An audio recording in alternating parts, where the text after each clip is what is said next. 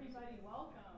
Um, I think we are ready to get started. So I'm so happy to welcome you all here to our Allen, uh, to our Cyber Traps panel. And this, I want to just emphasize that this panel, and in fact, um, our visiting scholars' entire visit this year, has all been made possible by the generosity of the late Allen Smith.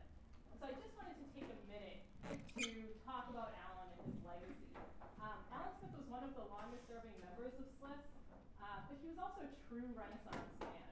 Uh, he wrote what I believe is still the definitive work of the Appalachian dulcimer. I brought my copy if you would like to take a look. Um, I'm pretty sure it's still unrivaled in the field. Um, but when he was not teaching, researching, and writing, he also worked as a farrier. Um, in other words, he shoed horses on the side. So he really was a Renaissance man, but for those of us who were lucky enough to know him, I think he'll always be remembered as someone who was devoted to the science, art, and librarianship. Um, his particular areas of study in LIS were reference services, oral history, and humanities librarianship. Um, and in fact, it was as a student in his reference course that I first got to know Allen. And I know at this point, you know, as more time goes by, there are fewer and fewer of us left who were in any of Allen's classes. But those of us who were, I know, always remember things like the fact that Samuel Johnson defined a horse as a name quadruped, or that Allen uh, advised any of us who, you know, at a party or a family reunion or whatever, if people asked us what we were studying in graduate school, he said our answer should be, I'm studying to take bibliographic control. Um, he really, he was just such a, a unique and interesting person. Um, and I think what is a real testament to Allen's legacy is the fact that there's actually a wiki that you can Google and find around the web, a wiki of Allen Smith quotes and um, quotes and notes, basically, that students have contributed to over the years. And um, you know, every time I am lucky enough to host one of these events, I read through those quotes again. And what I'm always struck with is that Allen really emphasized for us that librarianship is about intellectual curiosity and lifelong learning. And uh, he would always remind us, for instance, that one of his quotes was, librarianship is the field where anything you know will only help you in your work. Anything. Now, granted, sometimes I use that as an excuse to watch an entire season of, I don't know, Game of Thrones in one weekend because it will help me in my work. Um, That's true. But, but he really would. He would say anything that you know counts in librarianship. And I really think that's true. But what was more important is he really understood the importance of service to our profession. So another one of his quotes was that the best training for any reference librarian would be to go and work as a sausage vendor at Fenway Park so you could learn how to deal with people. He said, I truly believe that, and I truly believe it as well.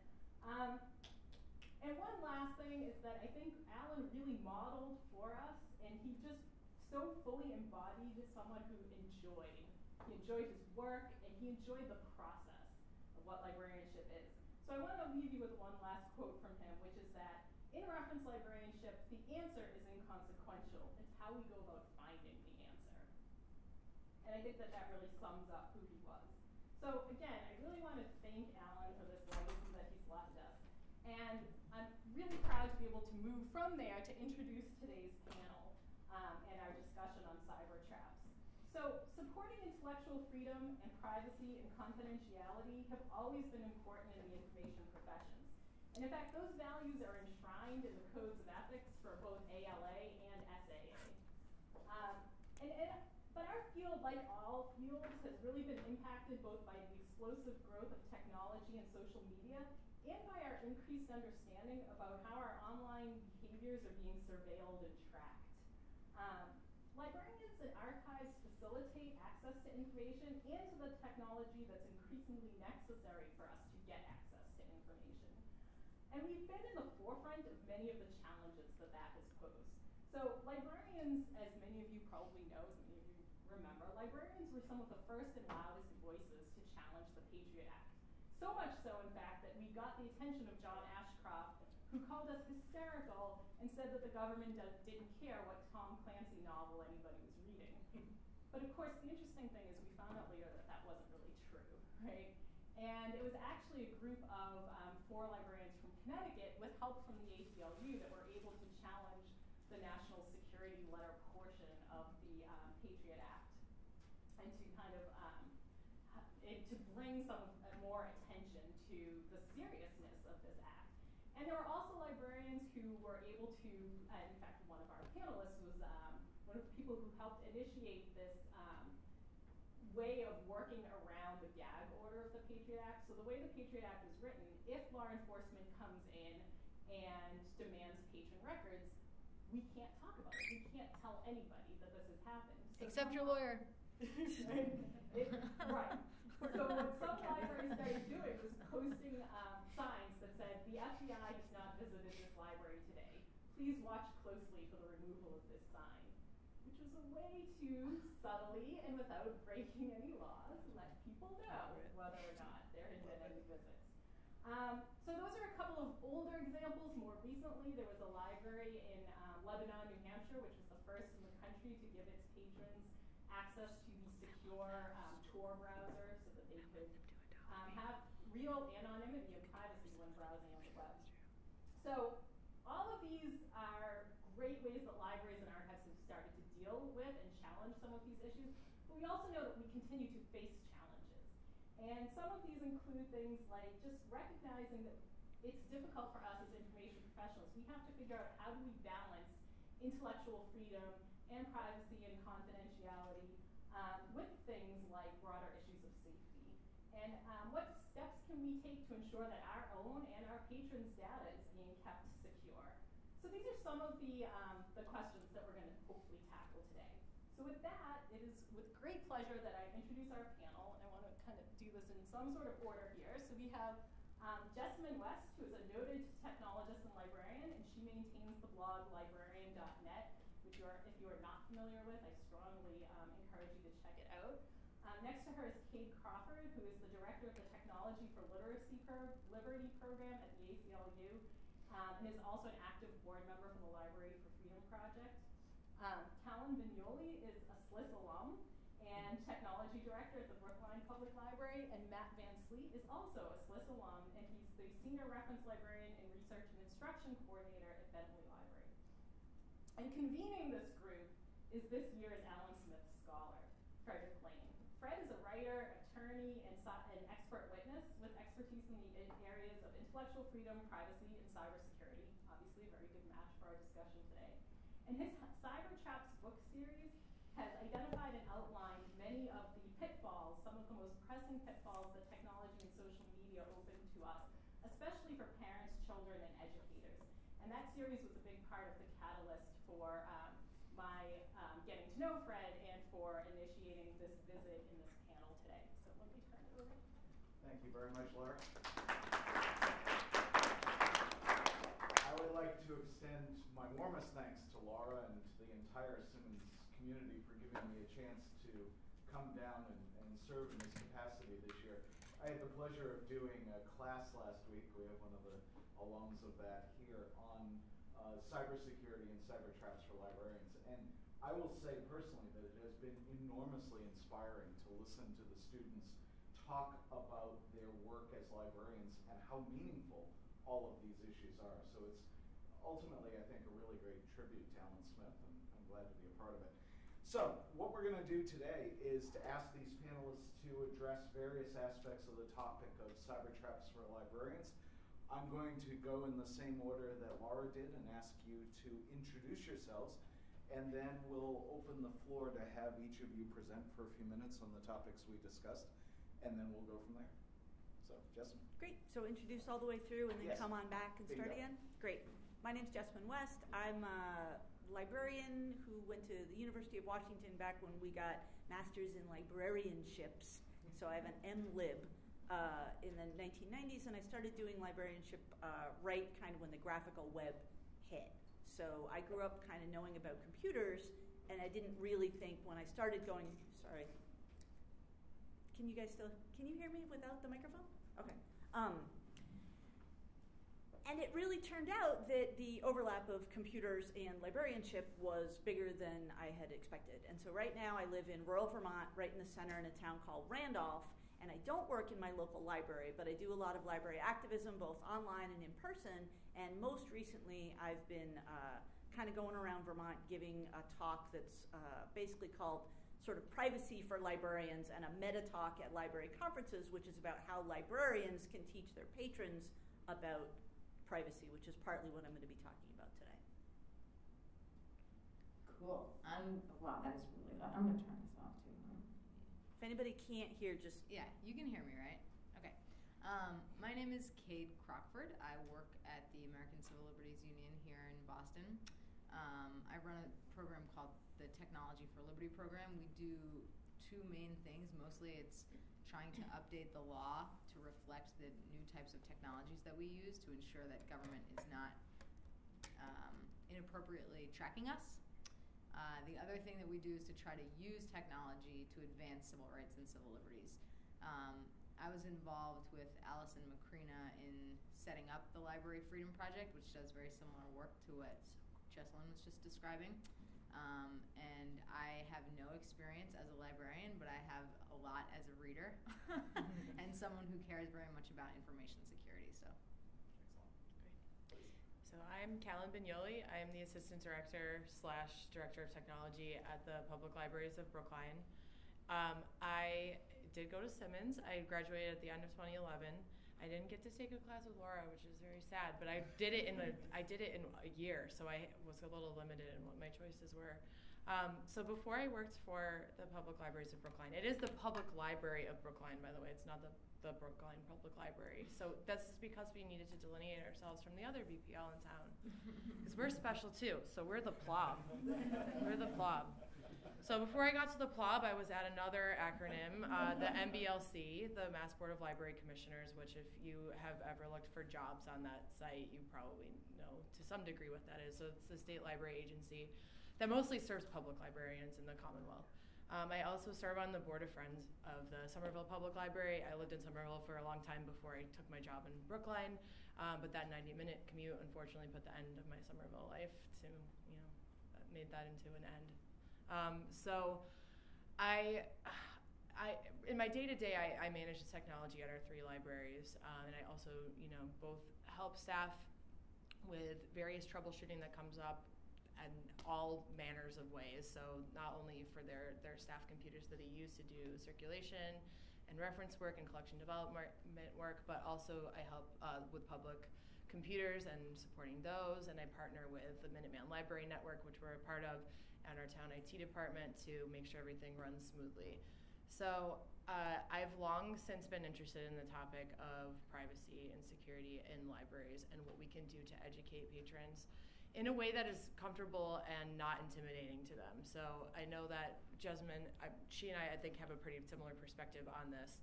It's it's very it can be really daunting to teach people technology in the first place, and then to kind of dial it back and tell them they're doing things wrong, or that they need to do something differently, or they need to do something more. Is is a lot. It's a tall order. So the other thing I want to mention in the intro is that I've been a little alarmed at how some of my colleagues are reacting to certain decisions that are being made about um, patron privacy and information sharing, particularly as it uh, concerns younger patrons under the age of 18. And I think that we could all use in public librarianship, at least at within the network that I work in, we really need a values refresher to remind ourselves both the legal reasons why we don't just throw things out for consumption wherever, but also um, the ethical reasons and why we should be standing up for that. Matt.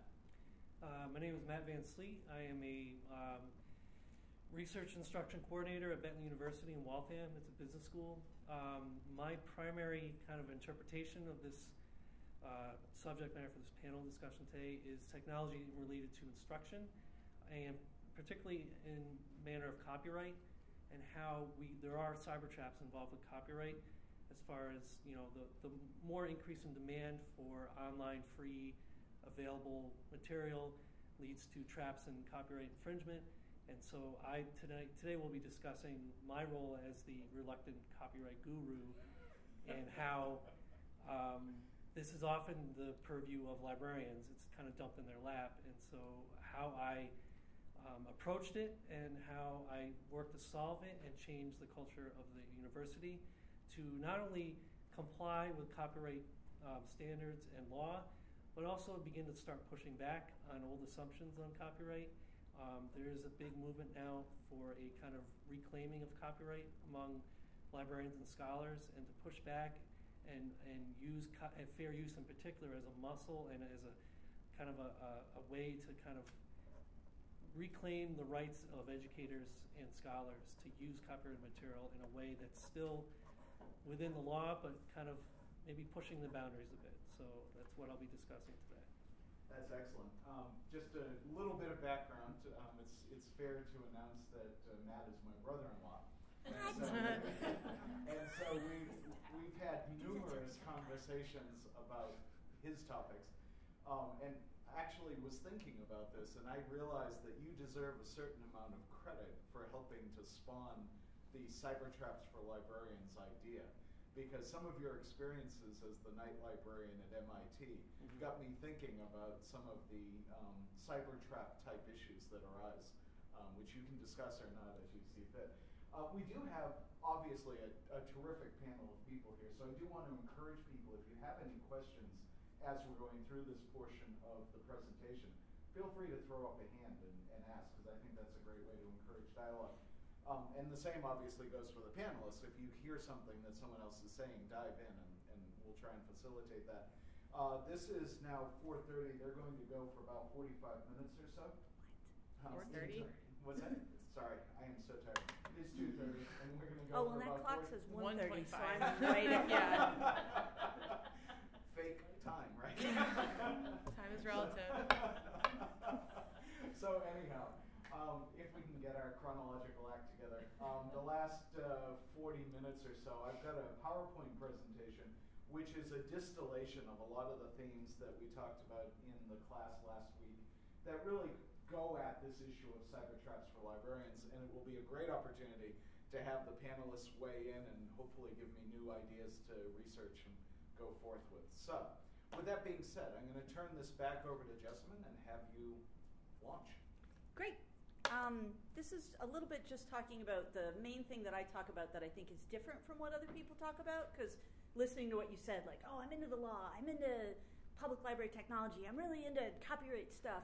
But one of the things that makes what I do a little bit different, not in a ooh special way, but just in a it's different way, is that I live in a really small town in Vermont. Well, really small, but like 4,500 people. And one of the things that I do every week, and what I consider my job, even though it's literally only a couple of hours, but it kind of informs a lot of the other work that I do the writing, the speaking, the uh, other stuff is um, I do a thing that's called drop in time, which is basically com- community oriented technology advice for anyone for free. And you would think I would do it through the library, um, and my library in town is amazing, but I don't work there. Um, there's like three ladies that work there, and they're amazing, but they don't have a huge budget and they do the best that they can. They do a lot of public access. We've got a 100 gigabit connection, which I can't even get my head around. So I bring my laptop there when I have to upload a, a video on the internet because if I do it at home, it takes an hour. But the drop in time is just literally like hang out in a room. Anybody in the community who has a technology question can come and ask that question and we'll work on it. And sometimes you know, I have to refer them to the people you pay money for to fix the computer, right? Or sometimes I have to tell them, like, the reason this doesn't work is because your computer is 13 years old. And I'm not judging, but that's a problem for reasons. And part of what I do that's the really librarian angle as opposed to the sort of computer angle is I'm friendly and I'm approachable. And I don't tell people to the extent that I can that what they're doing is wrong, even though between you and me, most of the time it is terribly wrong. But it's but it's completely understandable considering how they learn technology and considering where they get their information from. The technology landscape in America, but kind of the world, is um, kind of a, a landscape of the sort of economic forces where we find ourselves and most of the information that you get about technology is either like from your friends and like what we learned in library school is like you when you have your information need you go to the person you're the most comfortable with not the person with the best information. So people get information from their friends. Or the world of television and newspapers and other sort of uh, people trying to sell you solutions to your problems. And again, nothing wrong with that. Like, money is real and you should use it if it helps solve a problem. But it may be that the problem you're having can either have an expensive, irritating solution or a DIY thing you could do if you can follow some steps. Not if you're genius about computers, but just if you can follow some steps. But this information is harder to get than the I just want to buy something. So I've spent a lot of time talking to people about what their real concerns are and learning what they do and do not know about privacy, about their own computers, about their technological environment, about how they learn things. And that informs everything else that they do that involves their technology in their life. It involves how they interact with people on their phone, it involves how they email people at work, it involves you know how they plan events. It evolves whatever the things are. And each of those subtly trickles down to become kind of what we know of as culture. So i just wanted to share two kind of anecdotes from email and then kind of talk to you about um, five minutes of uh, my privacy talk. But so this morning two different emails this morning, um, one of whom was very interesting hearing your copyright thing because I used to work for the Internet Archive.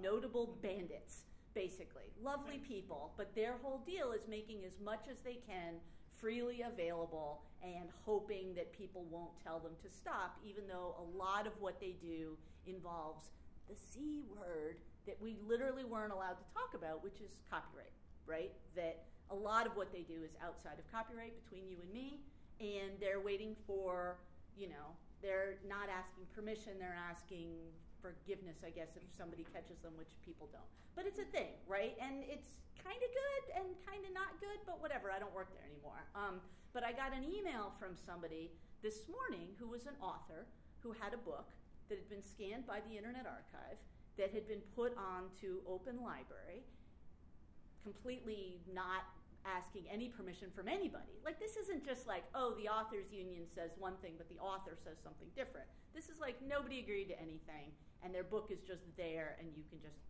have it. it makes people feel bad, right? Um, or could, might.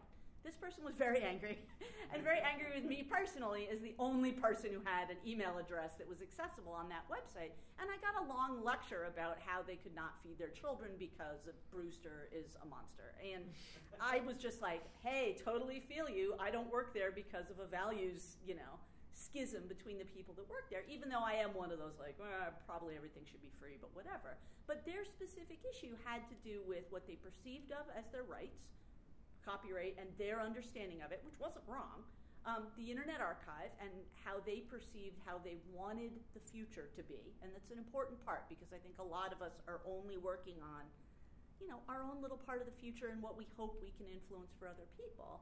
And the only person who was accessible to talk to because the Internet Archive doesn't answer their mail, which was me, right? So that's one story. The other story was we have a local paper in my town, and the local guy who writes for the paper, who I met in the coffee shop in town, because there's one coffee shop and one newspaper and one guy, had my email address and dropped me a message because somebody who worked for, I think, VTC, which is our little community college in town, had received an email with an attachment that looked like it was from DocuSign. You know, like you get a thing and you click it and it's very complicated, but you kind of electronically sign your name.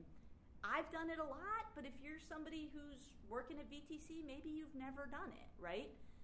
And it turned out, long story short, it was not from DocuSign, and it I don't know what happened. Infected something, and it was a problem. But the reporter called me to say, how can we help people not do this?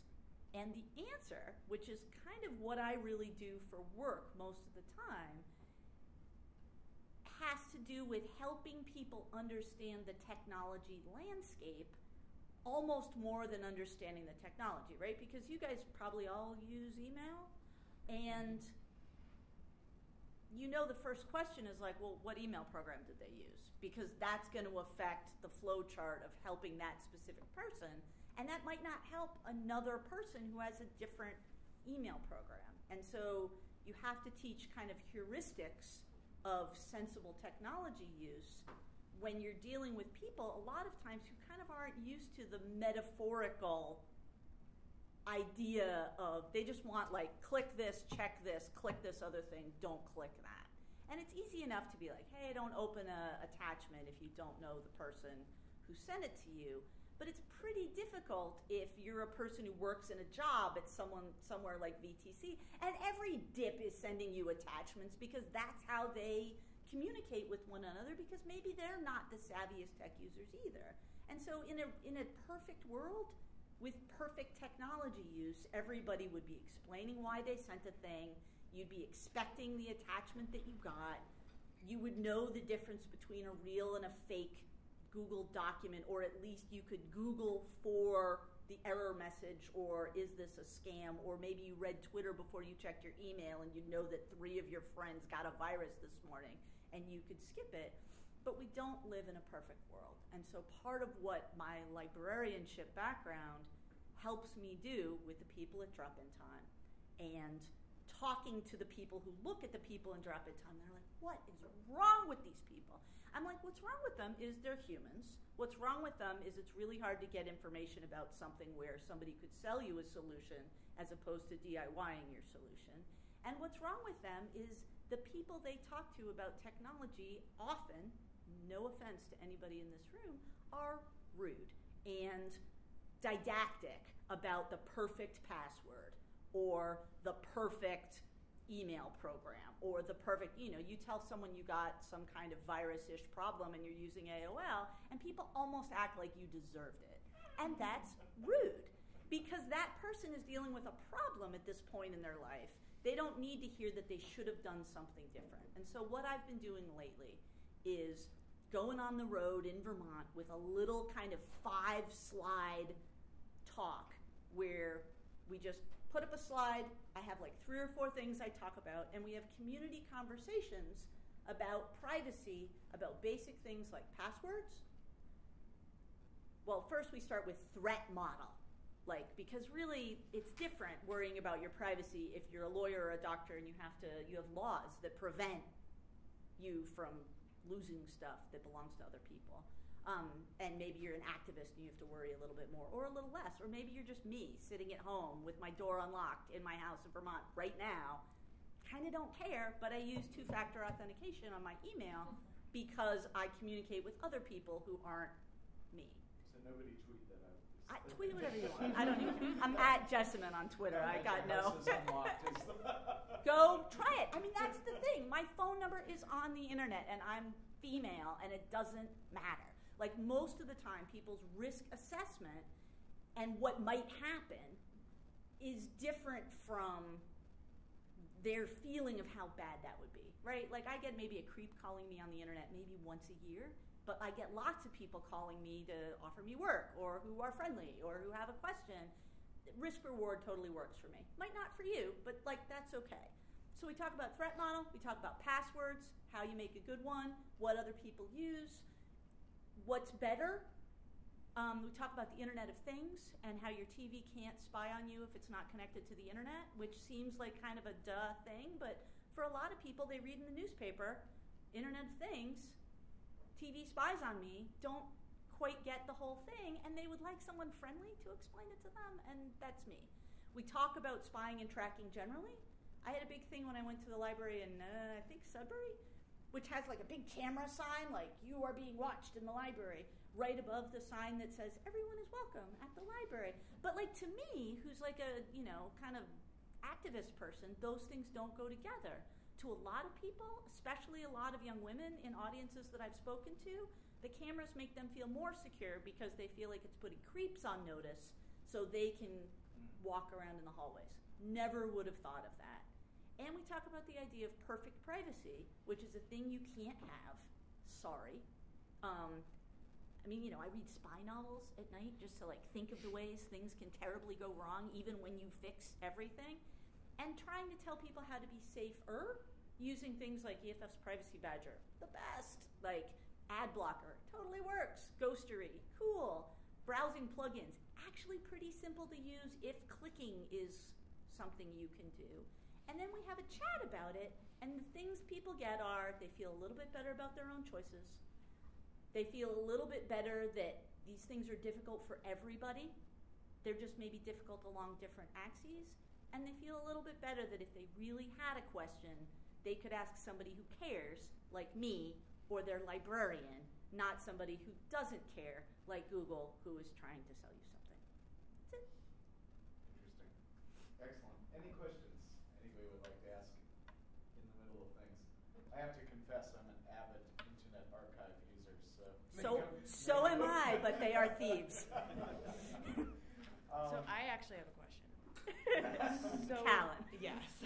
so what- during drop drop in time, do you give them this instruction about what you just mentioned as part of that, no matter what, or do No. they ask you about it, or how does that happen? I usually mention that having better passwords is a good idea. We talk a little bit about it, but I definitely don't get all up in people's business Right. if they don't seem to care. Yeah. One of the things that's the hardest about privacy and librarianship is we care more about privacy than most of our patrons, exactly. which I still think is important.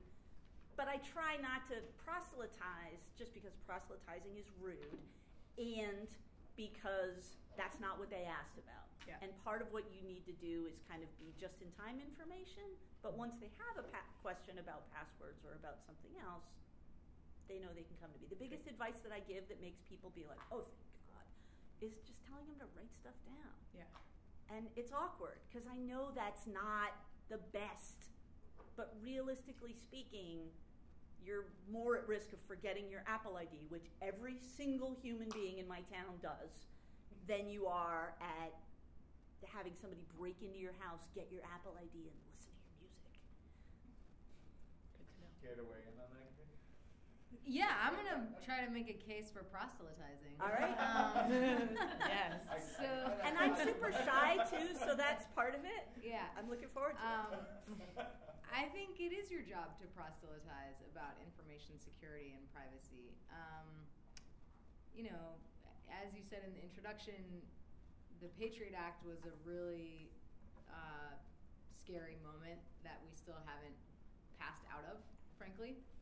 Um, this country is still living in the post 9 11 mindset that says there's pretty much nothing the government can do to invade our privacy that isn't justifiable on the basis of some security need.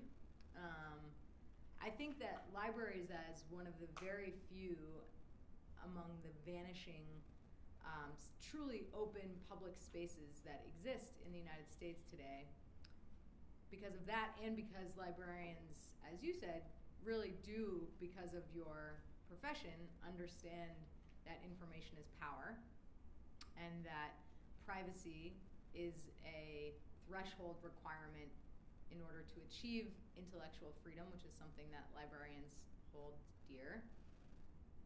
That because of those things, the fact that libraries are one of the few vanishing public spaces, and because information security and privacy are core values of libraries, that it actually is a really valuable and important role for librarians to play politically to push back against the idea that the NSA has a right to wiretap or eavesdrop on all of our communications without warrants, that a local police department has a right to put license plate readers all over the town and track where people are driving without even so much as getting authorization from the city council or discussing the issue um, with the public, let alone getting any democratic approval or oversight or things like that.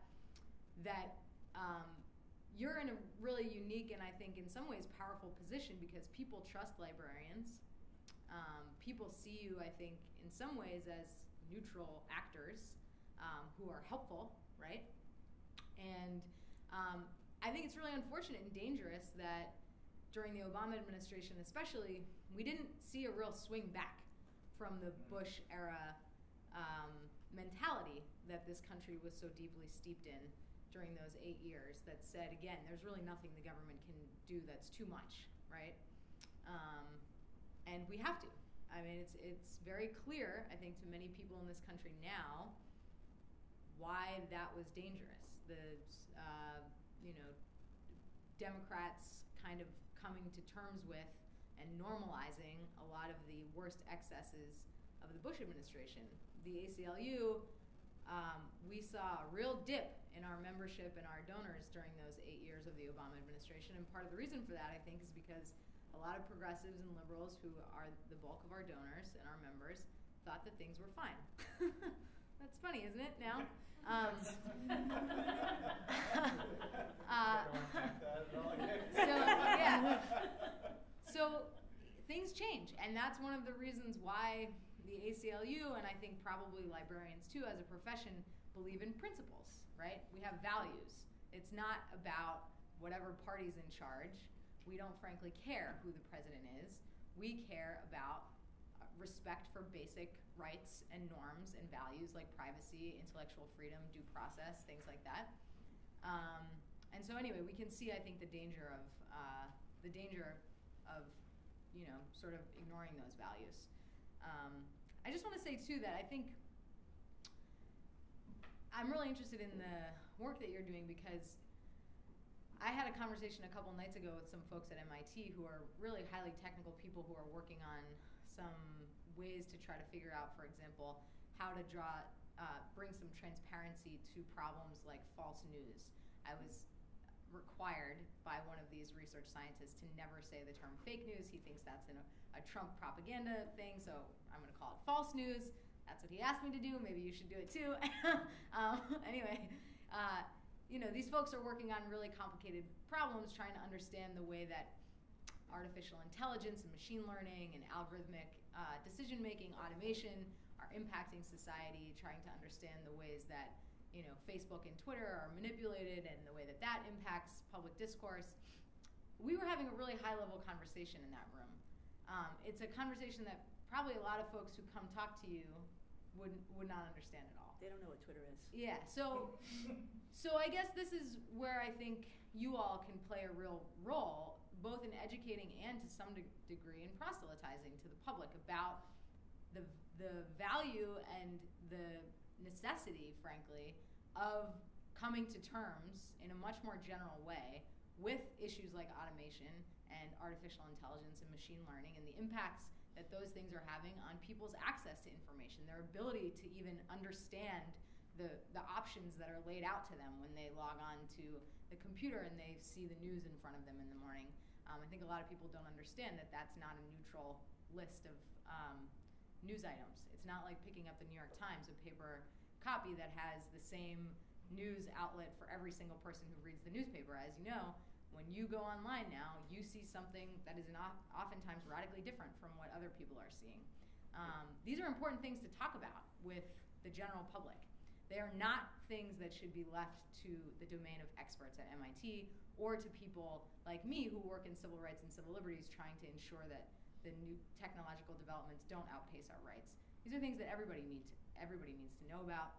Um, so I would just you know put in a plug for some education at your libraries about issues like that. Certainly about privacy and information security, but also about issues that are more cutting edge and have to do with again the the way that people's choices and access to information are in, increasingly constrained or you know their, our field of view is shrunk limited narrowed by corporations that are using algorithms that those corporations don't even understand um, facebook and google don't understand how their algorithms work they're way too complicated yeah. i mean that was clear when when um, facebook initially said no no no uh, russia wasn't doing anything on facebook that was their first response. And then they said, okay, we looked a little bit closer and we found that in fact Russia was doing some things on they Facebook. Were totally doing things. But we don't totally understand what happened uh, because our algorithms are very complex.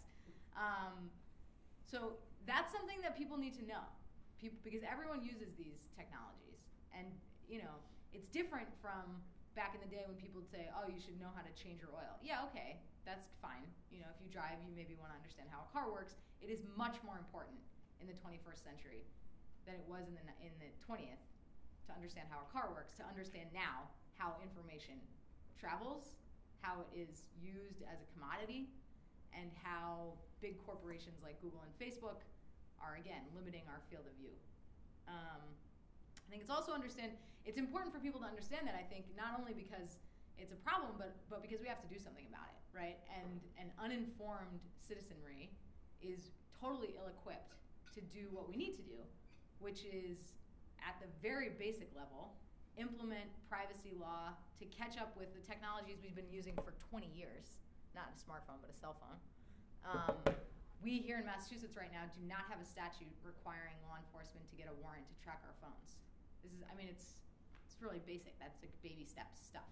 You know, we're talking about machine learning and algorithmic decision making and automation, and we don't even have the most basic constitutional protections in many states um, applied to technologies, again, we've been using for two or three decades now. That type of informed approach is necessary in order to get legislatures to deal with these problems. It's also necessary in order to get legislatures to deal with the types of problems that Europe is, frankly, smashing at with things like the General Data Protection Regulations. Do folks are folks in here familiar with the GDPR at all? So these are um, data protection regulations that the EU just formalized. They're really great. They um, hold companies like Google and Facebook uh, to basic fair information practices. They also, though, grant European citizens the right, for example, to access information about how decisions are made about them, even when those decisions are automated. So if they're denied, if a European citizen is denied a loan, that person can go to the credit agency or the bank and say, I want to not only see the algorithm, if they can possibly understand that, but I want you to explain to me in language that I can understand how you reached this decision. That is a really important way of thinking about information and democracy in the 21st century. And it's something that we in the United States are not remotely close to, to doing. Um, companies like Google and Facebook are totally unregulated. Obviously, just this week, uh, you know, Congress is trying to deregulate the finance industry again. Um, so we're moving in the wrong direction, and, and in order for that to change, we need people to be informed about what's happening and what's happening to them. Um, I was going to say a lot of other things, but I'll just wrap up by saying that um, I think there are, there are a number of things that librarians can do at a very local level, um, insofar as educating yourselves and your employees and your colleagues about your rights and responsibilities uh, under the law as a librarian to your patrons and their private information. And we actually have a fact sheet on my website that describes some of those rights and responsibilities for Massachusetts librarians. You can access that at privacysos slash libraries. Um, and then I would just say that, you know, when it comes to things like surveillance cameras, I'm really interested by what you said because I often hear that too. Law enforcement officials will say to me all the time, you don't understand. People want surveillance cameras I was surprised. because it makes them feel safe.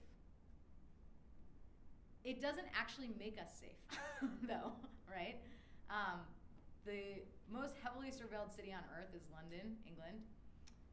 In London, there are tens of thousands, maybe even hundreds of thousands of surveillance cameras run by the police.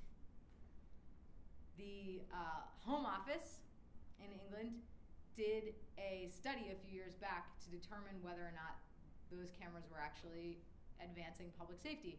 And what they found is that for every 1,000 cameras, let me just back up for a second. People often think that cameras deter crime. They don't. There have been a number of studies that show that cameras deter vandalism, petty vandalism in things like car parks. They do not deter rape. They do not deter assault. They do not deter murder. They certainly do not deter terrorist attacks um, or other serious violence. Basically, they stop people from writing on the walls. So if that's what you're worried about, okay. Um, but then people often say, well, they help us identify who committed a crime after the fact. In London, the most heavily surveilled city on earth, the British Home Office did a study finding that for every 1,000 surveillance cameras on the street of London, they solved one crime per year for 1,000 cameras. So the facts do not support the conclusion that cameras actually protect public safety. I think that is another area where, you know, as folks who intrin intrinsically understand the value of information and privacy, um, maybe you can, you know, push back when your librarian or your, you know, town police chief says, okay, we're going to install 20 cameras at, on, at the library. Why? They're dealing with that in Coogee right Yeah. Well, that Why, would- why do you want to do that? I, I mean, I think, you know, when you ask questions of um, the knee-jerk impulse to surveil, collect more information, you know, make it more accessible to more people, and you really drill down, do you have any evidence to show that this will actually improve public safety? Do you have any evidence to show that, you know, the one, two, three reasons you are invoking for the deployment of this type of surveillance, that it'll actually achieve any of those goals? We actually have to start asking those questions, I think. Well, and it raises an interesting point too, because with the improvements in camera technology, if you're installing cameras in the library, your capacity to see what someone is actually reading is really Right. enhanced, and, and it's really not that hard to do. And with facial recognition technology, we deal with that in Vermont now, the, the DMV has been using that to track people, even though we have laws on the books that say you're not allowed to, and there's a big fight about what, Abs- what you can and can't do with that technology. Absolutely. Any questions uh, here? Just before we move away from this topic of Yes. libraries taking this active role in Yeah. educating the communities, um, in the class that we had on this topic last week, there was a lot of tension and terse discussion around librarians as educators. Uh-huh. And are they, and do they want to be? Some of them do, some of them do not. There was also a lot of discussion, um, and, you know, personally, I was saddened and a little frustrated to hear about what it's like to be, especially in a public library, on the ground every day, where people are asking you the same question seventy-five times a day, and you are kind of like seething inside because you answered it, hopefully kindly, seventy-four other times. But the frustration was really around the fact that there are ways to provide information to patrons, all kinds of ways, print and online, where that recitation, you know, could still happen in a personal way, but be a little bit more meaningful for both of those parties. So one thing that we talked a little bit about that everyone was just like, that will never happen, is um, librarians as content creators. And uh, I think it's a funny thing that I don't yet understand because I don't work in the library. Uh, why people will spend a lot of their work and personal time to prepare things like events and talks that are live, but not feel like it is worth their time to create content that can live digitally in the library's website or channels to do just this. And I think it's a disconnect, and I think largely it has to do with the amount of time that they have in the day and the number of jobs they're all doing. Yeah. Uh, but I think the question it raises for me is, in library school, are we equipping people uh, to think about the profession in a way that allows the people who do have interest in doing this kind of public education to do it? And I, I'm not sure. Interesting question. Yes, sir. You wanna? Yeah, I just wanted to uh, just briefly check up on the, the logic of the of installing surveillance in libraries. Have any of the libraries that are now doing that or talking about doing it had a spike of in-library crime that that might have been used just as justification? It's just out of the blue. You know, my, what I've heard, and maybe other folks have different um, views on this, but what I've heard is that there are pro- there's there are some problems, for example, with um, people shooting up in bathrooms or um, you know certain people feeling unsafe because there's this one guy who sometimes comes in and looks at porn and jerks off in the corner. You know, like things like that. I, I haven't heard any librarian say, you know, we're afraid of, God forbid, something like what happened in Lexington, you know, last week or two weeks ago happening. Obviously, freak random acts of violence or something that no camera is going to stop. Anyway, um, but I haven't heard that it's anything serious like that. It's more like kind of quality of life stuff. Yeah. Yeah, So would for just- us at Brookline, this happened right before I got there, so I wasn't involved in the decision-making process. But we had about six thousand dollars of video games stolen from us uh, in the fall of 2016, and immediately after the director installed the surveillance cameras, Well- sort of as an immediate response to that. With certain collections like DVDs or video games, I can understand, or like rare books. But, Yeah. You know, if it's like isolated to the sections, just because those are expensive assets. Right, that's exactly how it is for us. Yeah, So that makes we, some we- sense We have three buildings and there's twenty cameras and they're not everywhere. They're not in reading spaces. Right. They're not in places where you can really get a high fidelity shot of what anyone is looking at. Although I will say, if you go and watch the video feed, it's frightening how clear and crisp the, the image is. Right. And at- at Quincy that's looking into it, and Brian, aren't you on that, weren't you on that task force or whatever?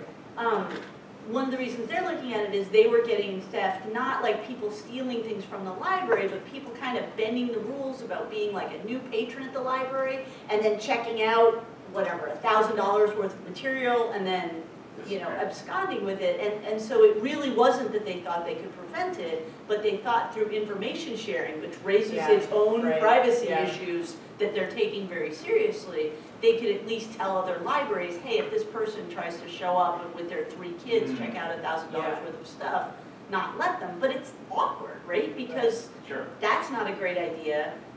Ratting out people to other libraries isn't a great idea. It's Yeah. the community's content that you're charged with preventing, but having policies that are more restrictive on new patrons is its own, I mean, it's just twiddling knobs to try and Sure. figure it out. I mean, the thing I'm gratified by is that they're taking it super seriously. Yeah, so I was, I worked work for the state at the time when that, you were on the task force for the patron information sharing? Is that No, this what is you were the- talking about? Or something else? meeting. Just It's something specific- else. Okay, alright, Yeah. so the, Related, but not. Yeah. yeah, do you know about this? Mm-hmm. It was like, so the Mass Library System and a bunch of other librarian, public librarians at big urban libraries in the state convened a task force on patron information sharing, which is. I think kind of- that was the one that, yeah. Yeah, so it was basically exactly what you're talking about. So the idea was to create sort of a criminal database. Honestly, there's no oh other, there's no other way to put it, of problem patrons. So that we could all log in there and file our incident reports about this or that person who did this or that thing that we didn't like. And there was no conversation, no discussion over how that was gonna work, how people's biases were gonna play into that, what members of staff would have access to it, like what would happen if those people stopped being librarians and they left the field and like they took that record about that person along with them in some capacity. It was really bad. Did And that so- happen? No, It no, did no. not. The state, so when I worked for the state, my boss and I were just like, uh-uh, like this is not only illegal, but it's also disgusting that like you would even want this thing to exist. Yeah, if I could just, I mean, like, one thing that I always think about when we talk about doing things like that, or, you know, installing cameras because people are stealing videotapes or whatever, it's like, what would we do in the pre-digital era? Right, it's fishing To address this problem, you know, like, why don't we take a step back Yeah. and think about other ways that we could address problems like Yeah, this? Right, Because maybe if we think creatively, there are other things we could be doing. Like, I just spoke to reporters at NPR a few days ago about the use of social media surveillance systems by schools that are saying, you know, we want to monitor the, the ways that our students are talking on the internet when they're at home, um, partially because we're, we're concerned about youth who are suicidal and we want to be able to intervene, right? And it's like, okay, one approach to that, to the problem of youth suicide and depression could be that you spy on all the children. Another approach could be that you have education and you create a culture in the school so that young people feel like they can talk to adults when their friend is, you know, talking about killing themselves or whatever, right? So we have this tendency, I think, because a digital technology exists, and as you said, somebody's definitely trying to sell it to you, right? If you work at a library or at a public school Always. system or a police department, there are a lot of people trying to sell you surveillance technology all the time.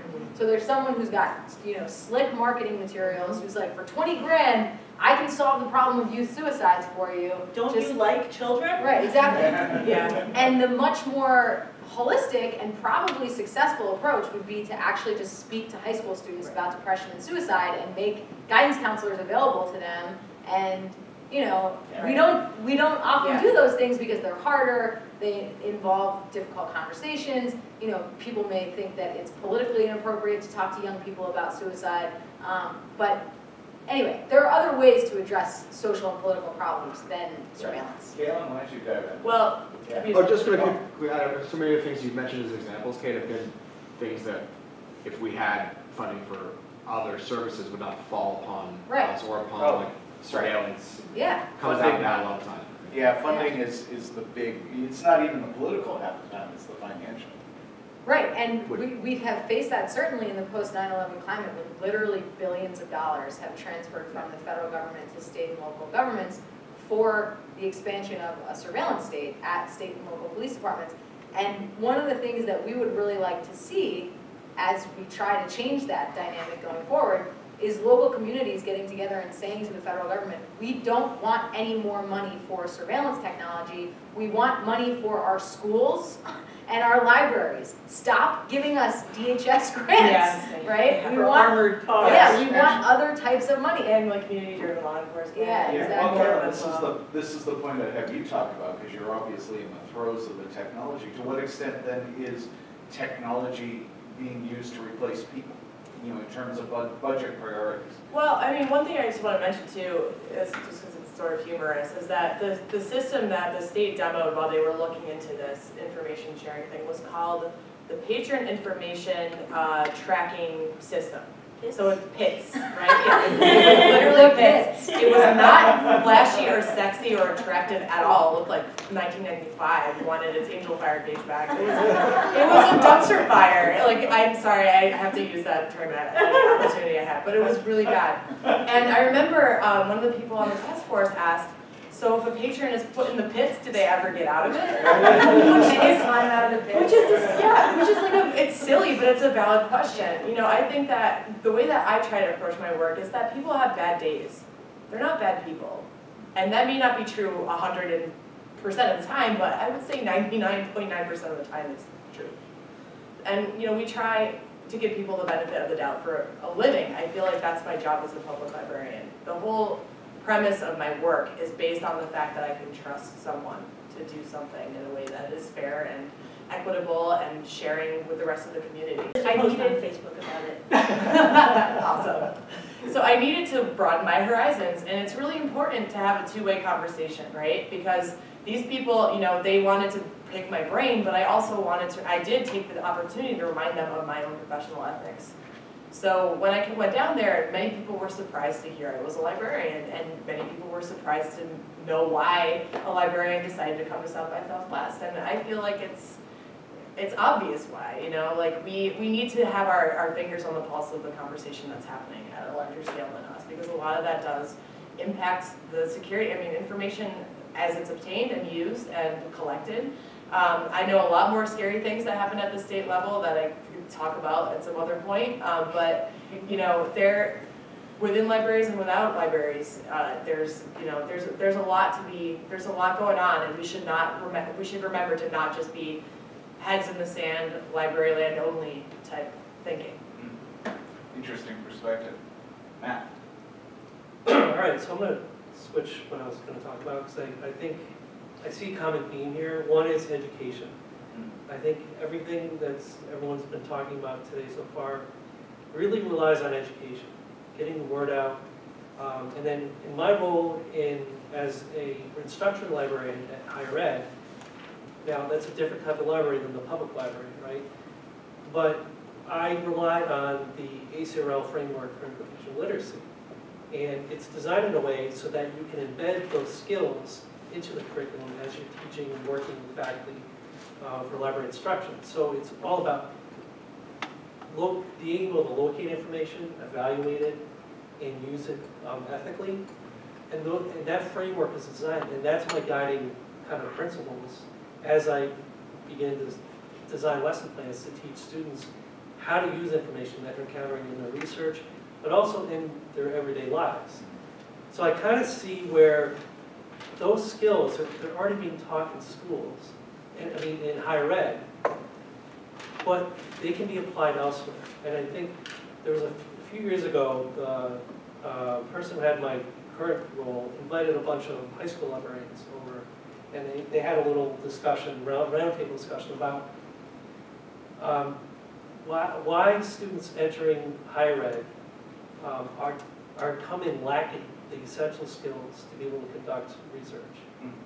They, they lack the ability to effectively navigate databases evaluate sources for quality and bias.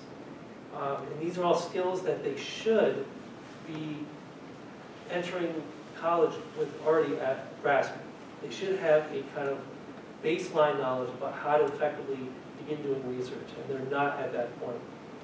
So right there, that's an indication that those skills aren't being taught in, in, in school, in high school.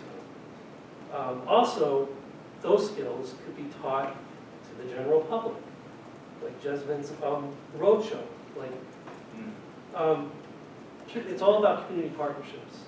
And, and uh, the- these are things I'm developing on campus, going to student organizations and student groups, finding opportunities to kind of um, coordinate with them as far as programming, events, workshops, um, basically getting out of the library itself and going to meet the need where they are.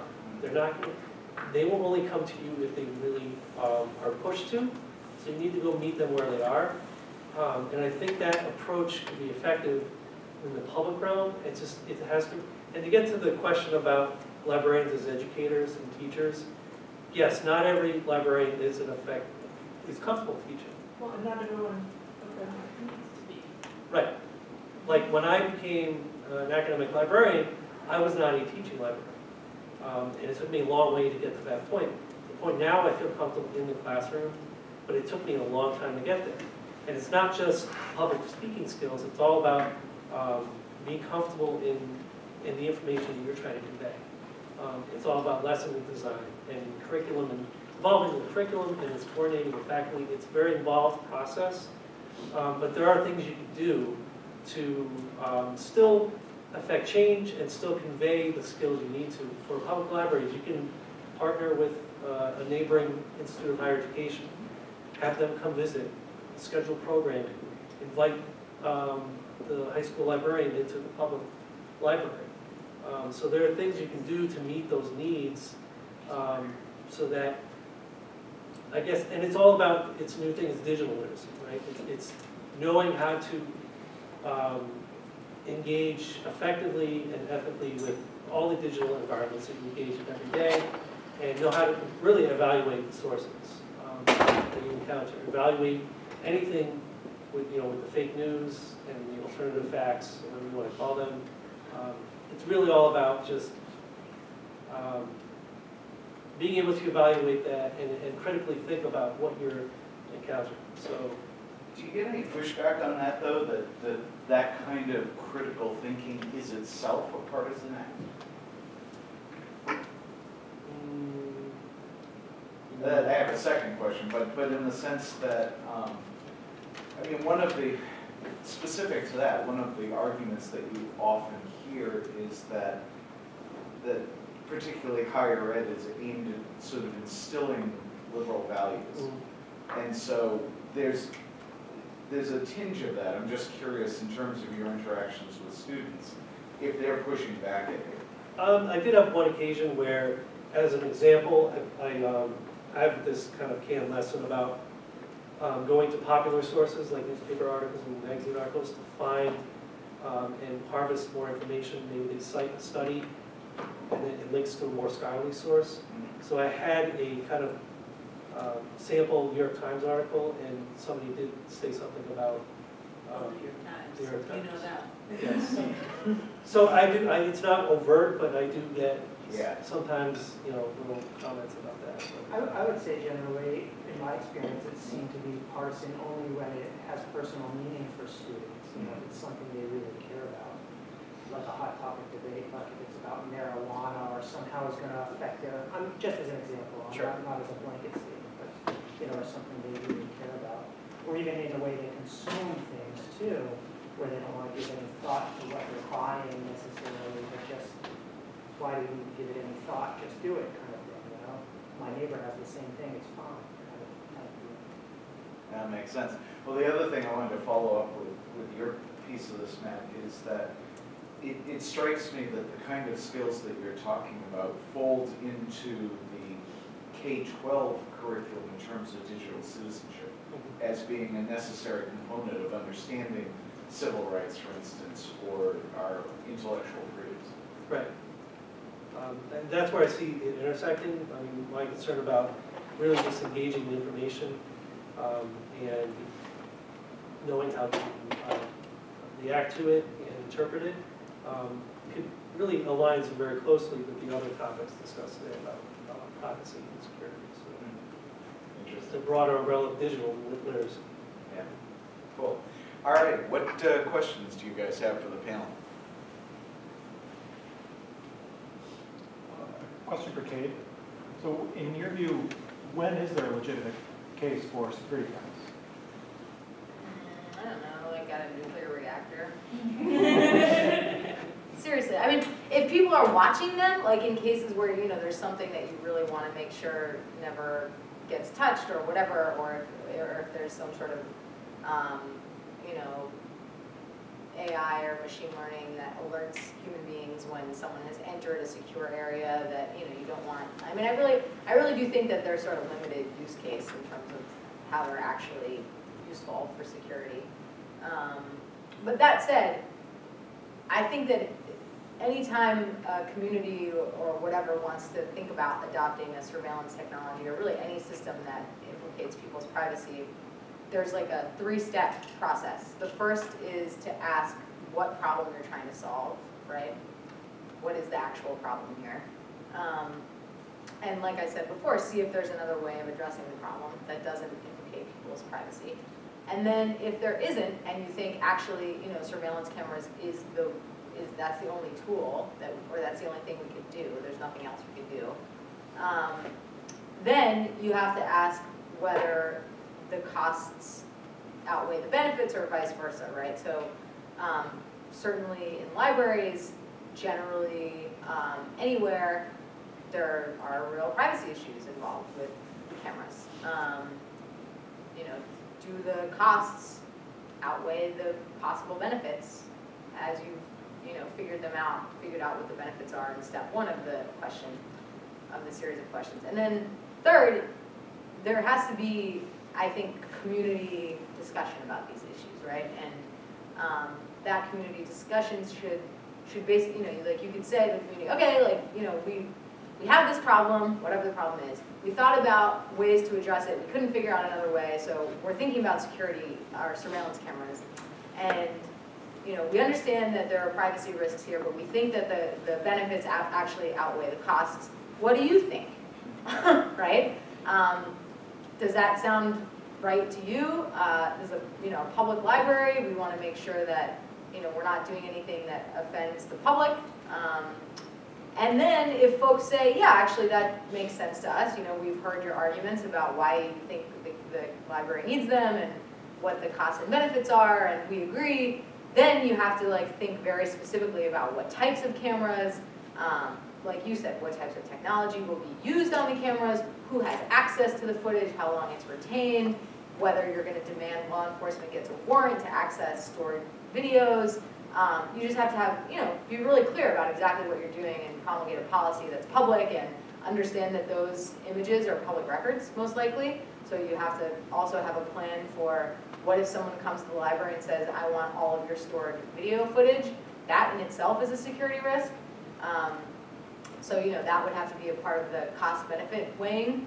Um, is it actually safer for people to, you know, be videotaped all the time when they're in the library, including children, and then that information be available to anybody all, anywhere in the country who wants to ask for it? Um, so yeah, I, I think there just has to be a lot more deliberation involved than there generally is, which is, generally it's just like, someone's like, there's a problem with crime, and then the people are like, oh, great, put some cameras in, okay, done, you know? And like, all those steps get skipped. Well, if you watch movies like, what is it, uh, National Treasure, you know how easy it is to get around those surveillance cameras. You can also hack them, I mean, if they're connected to the internet, Well, it could be a and they security often are, risk, yeah. right? And So the like, whole baby cam thing Yeah, is just so- a thing. Yeah, like I live in a condo building, the people in my building are all the time trying to get these camera systems that are like hooked up to, you know, Comcast and you can like see when you're at work what, what's happening outside. I'm like, no, don't, we're not doing that. Like, And that is did- not secure. Has anyone actually had any interest in, the what was it, the Amazon Key system? Oh, right, right. Oh, You know, basically, where the little video camera and the Amazon person can come in and, yeah, anyway. Let's start here and work our way over. Go ahead. Yes, that's you. I wrote something. Um, so, um, how do you educate, like, um, information professionals about these things? Like, obviously, we're a group of people who, um, talk about these things and understand these things, but the situation where there was the, um, problem, like, patron database that was luckily, like, shot down, but obviously there were people that were for it because they believed that this would help. How do you go forward to educate information professionals about the problems that arise from that and to call their own peers and even to call patron peers because patrons could fight back and be like, no, we do need cameras. It's like, no, no. Like, how do you help people understand this situation? Yeah. I think that, so my name's Callan, just so you Callan, know. my Callan, apologies. Callan like I think calendar. I did this It's okay, it's all right, it's a tough one. Callan like calendar, Bignoli like beignets, that's I tell people, because that's fun. Well, that Um, helps. Yeah, no problem. So, uh, so I think that a big part of it is transparency, right? So like, who really knows that this went on? You know, the hand, yeah, very few people know that it happened. And, you know, the information is, is publicly posted, it is out there, it's just, the word about this never really got out. And, and, you know, part of that was just because it was being figured out as opposed to something that was being decided. But, you know, as soon as it got, so like, it was presented at the Mass Library Association conference back in May. But still, that's a very finite group of people, I think they get like three hundred attendees or something like that, and it's a very self-selecting group, and it tends to be the same people all the time.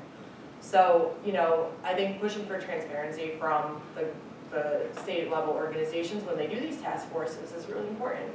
Um, and so, you know, we also, when I was working for the state, worked on a, a project to assess the risks in social login for uh, replacement of library card login. So to use like Facebook or Twitter or LinkedIn to log in instead of barcode, which is an awesome user experience thing, but holy crap, like there were, I mean, I learned so much from that project that I just never even considered. There's a whole class of companies out there now that acts as the middle ground between the person requesting that social login be implemented in the social media provider.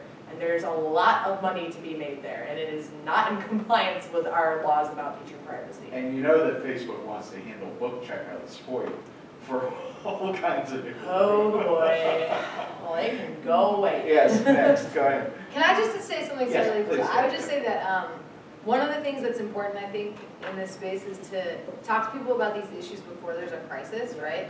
Um, because like, you know, what just happened in Lexington last week, like, I would not be surprised if people there are like, we need more cameras now, you know, because there was a horrible thing that happened, and people, we react from our lizard brains, and that's not always rational, you know? Winchester, Winchester, right? Sorry, Yeah, Winchester, okay. Winchester, yeah, I get those towns. Yeah, they're very similar. um, but anyway. I was like, so- I hope there wasn't a second No, row. no, no, sorry. But, yeah, my point is that, you know, creating, that's why I think doing this kind of public education, just about why privacy matters when there isn't a crisis, right? This is not a response to 9/11, it's not a response to someone getting murdered in the library, it's just, let's have a conversation about why this is an important value, and then people can be more prepared intellectually when there is a crisis to have a more rational approach to dealing with it. So one thing I just wanted to say really quickly as, a response to that is in the case of Winchester, so there tends to be sort of a groupthink issue in our profession, at least like certainly within the directors of the Minuteman Library Network. No shade is being thrown, but it does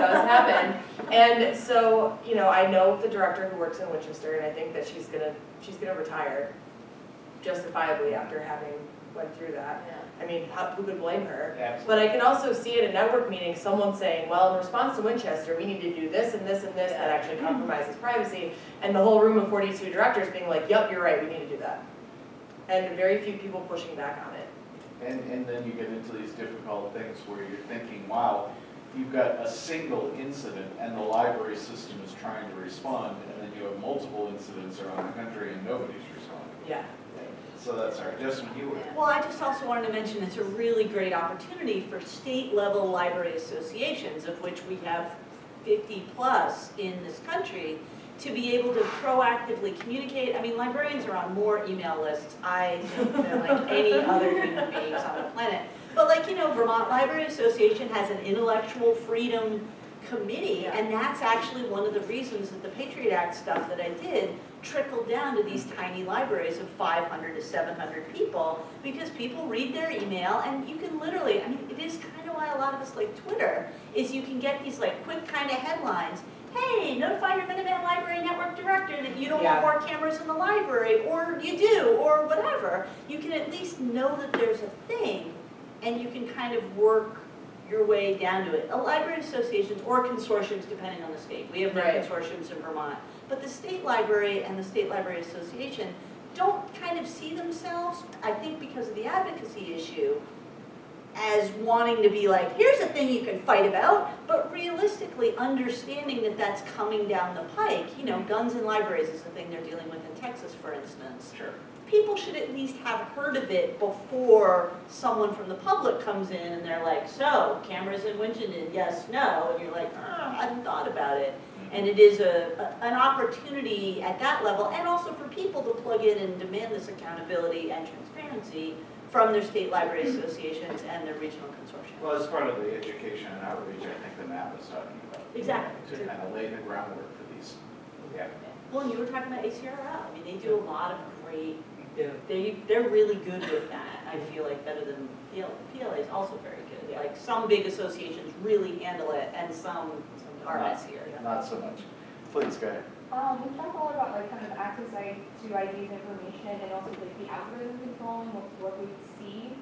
Um, we really haven't really talked about the, you know, the vendors themselves, the people who are providing internet. And so in the light of the, you know, net neutrality and FCC debates, there's been a lot of lawsuits, I think, that come in the past couple of weeks against the FCC and the states have come and said, hey, we're gonna have net neutrality in our state. I Washington State has done Yes. so. I. Vermont. Vermont has done so. Um, and so I just was wondering your thoughts kind of based on that, because we talked about the algorithm, we haven't talked about this looming political body of with, with, with net neutrality and how that affects libraries. Yeah, good question. Who wants to take a stab? Nick? So in Massachusetts, um, there's legislation to restore net neutrality as well as legislation to reinstate the privacy rules that we lost um, that applied to ISPs that Obama's FCC had um, implemented. And it would be fantastic if library associations or individual librarians wanted to get involved in the legislative effort here. Um, That's certainly one thing that I hadn't thought of until this moment, but I'm very involved with that work, so if you want to get involved in it, you should let me know. And then, um, also, I, I, mean, I think it's a similar thing, right? Like, you could have a sign in your library or in, you know, libraries at the front desk that says, you know, what does the end of net neutrality mean for library at the, uh, internet at the library? And you could have like a little one pager that people can take that's like, what is net neutrality? Right? Does it apply to the library? Yes, it applies to all internet, right, all over the country. So those types of things, and like you were saying, you don't have to have a talk, right, Or you on can net also neutrality. frame this as it relates to what an individual person will Do you Right. wanna pay Yeah. more for Netflix? Right. Yes, Yeah. no. Right. Right. Because, You know, Right, all, we hear all of this stuff and we care about it. Yeah. But the average person is like. Net neutrality is not super knowing How to abstract. get in there. Yeah, totally, and also making the connection, I mean, I think that the Netflix thing is, is the thing that people understand the most. I think the thing that people understand the least probably is how important net neutrality is for freedom of information, right? And, and as an anti-censorship tool. So, yeah, I mean, that would be awesome if libraries were educating their patrons about that, and even saying like, did you know there's legislation at the State House to deal with this? I mean, you don't have to tell people to support it, obviously, you probably aren't supposed to do that, but you can tell people it exists, I mean, mm. that's not a problem. Yeah, we did, we did a thing where we just literally sent a thing out to all the libraries in the state of Vermont that was like, here's what it is, here's what you can do, blah, blah, blah. I talked to our state legislator actually about it because I'm just hopped up about it. And he's like, look, realistically, Vermont did our thing, but at a national level, we're gonna have to wait for the midterm elections in order to be able to have a different Congress, in order to be able to do some things. But thanks for talking about it and being the librarian, I feel like, who's telling people, they believe you're not trying to sell them something because we're not, and they believe that they can trust you. I mean, the trust thing is huge when you say, this is actually a thing that's important, as opposed to like, I mean, just the constant sky is falling world we live in nowadays. Trying to be like, well, this is one thing that I think maybe deserves ten minutes of your time, because really the one thing we are kind of selling or trying to buy is people's attention, and you have to respect that that's limited, but at the same time, this is the thing you can maybe do a little thing about. You know, I send people the five calls all the time, like, Mm. here's five calls you can make, just go do the thing and then you're done for the day. People like that, and this is a small thing that you can put on somebody's plate, do a thing, notify somebody, and if you're a respected person in whatever your job is, being the person who's like, no, I think this is important, I'm not being a nut about it, it's just important, you should know about it. Yeah, and, Move on. and I think like, to the point about sort of like the perpetual outrage machine and how many things are awful every day, um, that we have to make sure that net neutrality and ISP privacy don't go the way of the Patriot Act, right? Which is to say that we just forget about it and it becomes like the water that we swim in if we're fishies, right? And so we don't even know it's there. Um, and so one way to do that is to keep talking about it and just to say like, oh, did you, you know, don't forget, um, net neutrality is dead and that's bad. like, we gotta fix it, you know? Well, at least Ajit Pai turned down the uh, award from the, what was it, the NRA or? Oh, the giant C- gun they gave the- him? The CPAC award, Wow, that was, so weird. the- the NRA. It, it was amazing, it took him almost two weeks to do it, but, yes, go ahead. So mine isn't exactly a question, but um, I had to visit a, a teen space for my adult class, and so the library, the public library I went to, um, has a video camera in their teen space, and they, so I asked them about that, because I didn't see a sign that said that they are, have a video camera, but the librarian said that, um, the teens know about it, um, they can see it at the reference desk live, um, like view the room. Um, and they keep the, the, they save it for twenty-four hours and then they, and then they delete it. But they were talking about issues of, um, drugs and that kind of stuff as to why they got it.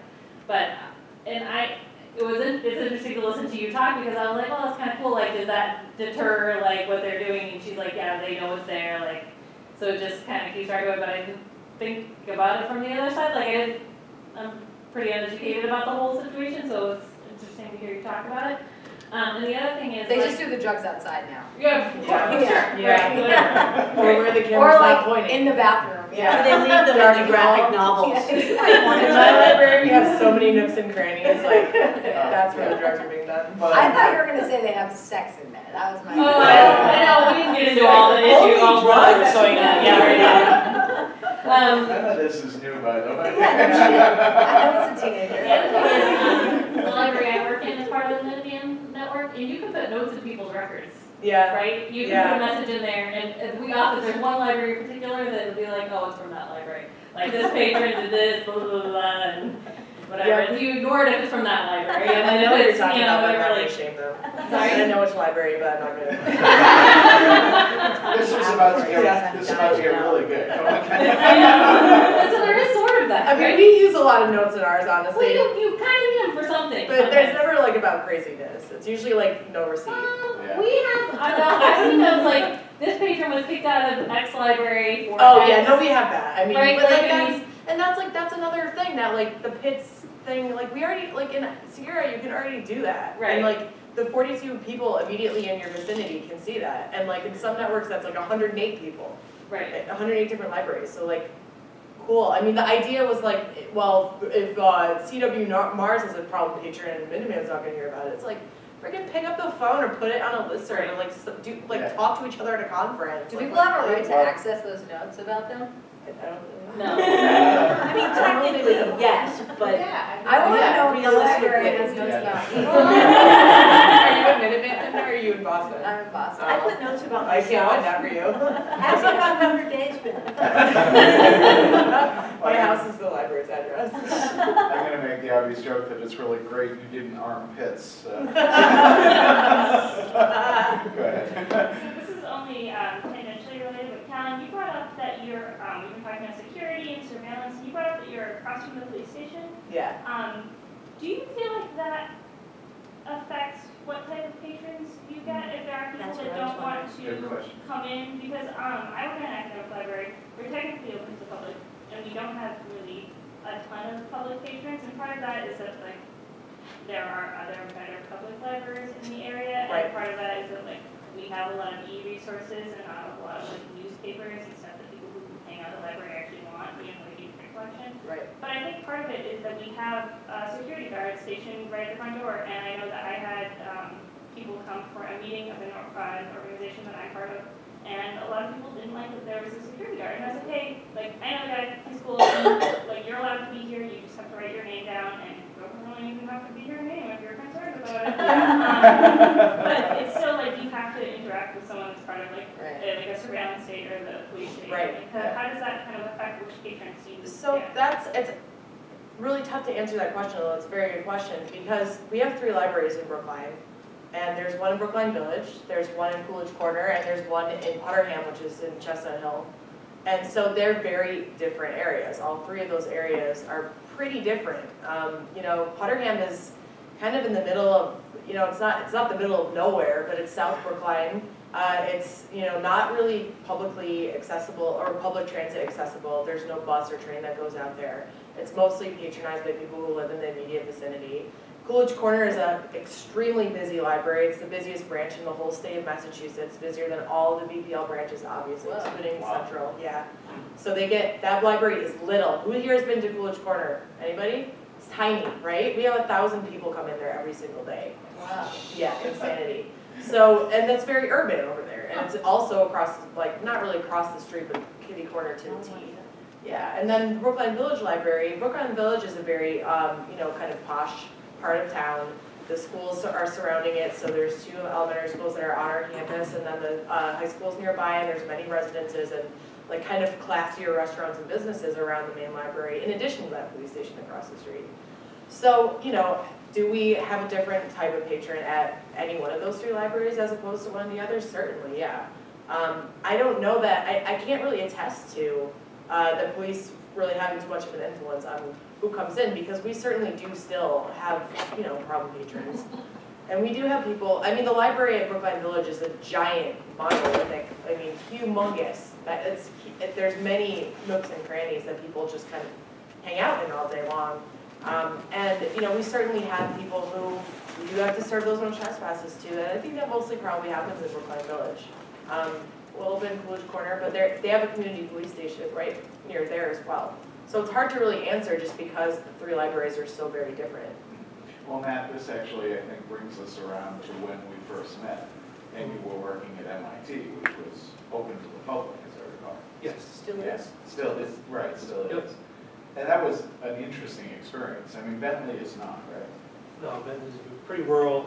Uh, we have maybe one, uh, community user that we, we we call. But technically, it's open to the public, It right? is. Unlike Oh. Harvard. Yes. Well, no, Harvard's a pain in the neck, believe me. But, but what makes Bentley open? I mean, why is, It's, just policy? Just too hard to get to. it's, yeah, it's way out in Waltham. Yeah. But most academic libraries actually are open to the public. You know, I didn't, I didn't actually know that. No, right, Yeah. you won't be able Yeah. to restrict access. Yeah, Yeah. NYU isn't Harvard's unusual around here for being that. That's Is interesting. that true for electronic resources too? No. Well, on site. No, you get I was like, nothing on, on the on outside. site. That, yeah, You can that ends in darkly. In the library. Okay, got it. Are there, any? yes, please, go ahead. Um, I have a question, sort of bringing it back to tech instruction. Um, specifically for you, Jessamyn, since you were talking about that. Um, so how do you help people overcome their fears of their devices, or their, fears of, you know, sort of exploring and, and playing with their things, and, and fears about security as well with that? Well, we do a lot of scaffolding with the work that I do, so a lot of times it's like the dentist, right? I tend to see more people who show up because they have problems than people who are just coming in for preventative maintenance, because nobody comes in for preventative maintenance, even though you would like them to. Um, so we spend a lot of time um, breaking whatever it is that they need to do down into really concrete steps, having achievements that they could get to at all the levels. Like, hey, you figured out your password. Nice going. Because realistically, people should feel good about doing things well, regardless of whether I think it's a tiny thing or a big thing. So scaffolding, a lot of positive encouragement. Um, I do have this thing that I talk about where it's like, you get 30 seconds to complain, so use it wisely. But seriously, like, people really want to tell you the horror story of why they got to where they are, like the dentist, about like, well, my husband, he was the one who did the thing, and then when he left me for that lady he met on the internet, and you're just like, like I do not a want to hear any of this stuff. It's really, but like I'll be like, okay, 30 seconds, but then we're gonna move on and talk about the thing. And then anything else that they're like, "Ah, the computer hates me, I'm like, well, sounds like a personal problem. Let's move on. But like being upbeat about it, like there's, I try to be as unjudgmental as I possibly can. Like I'm being kind of jokey about it here, but like person to person, never. Like really never, except to say something like, remember how you said you were gonna do that thing last week?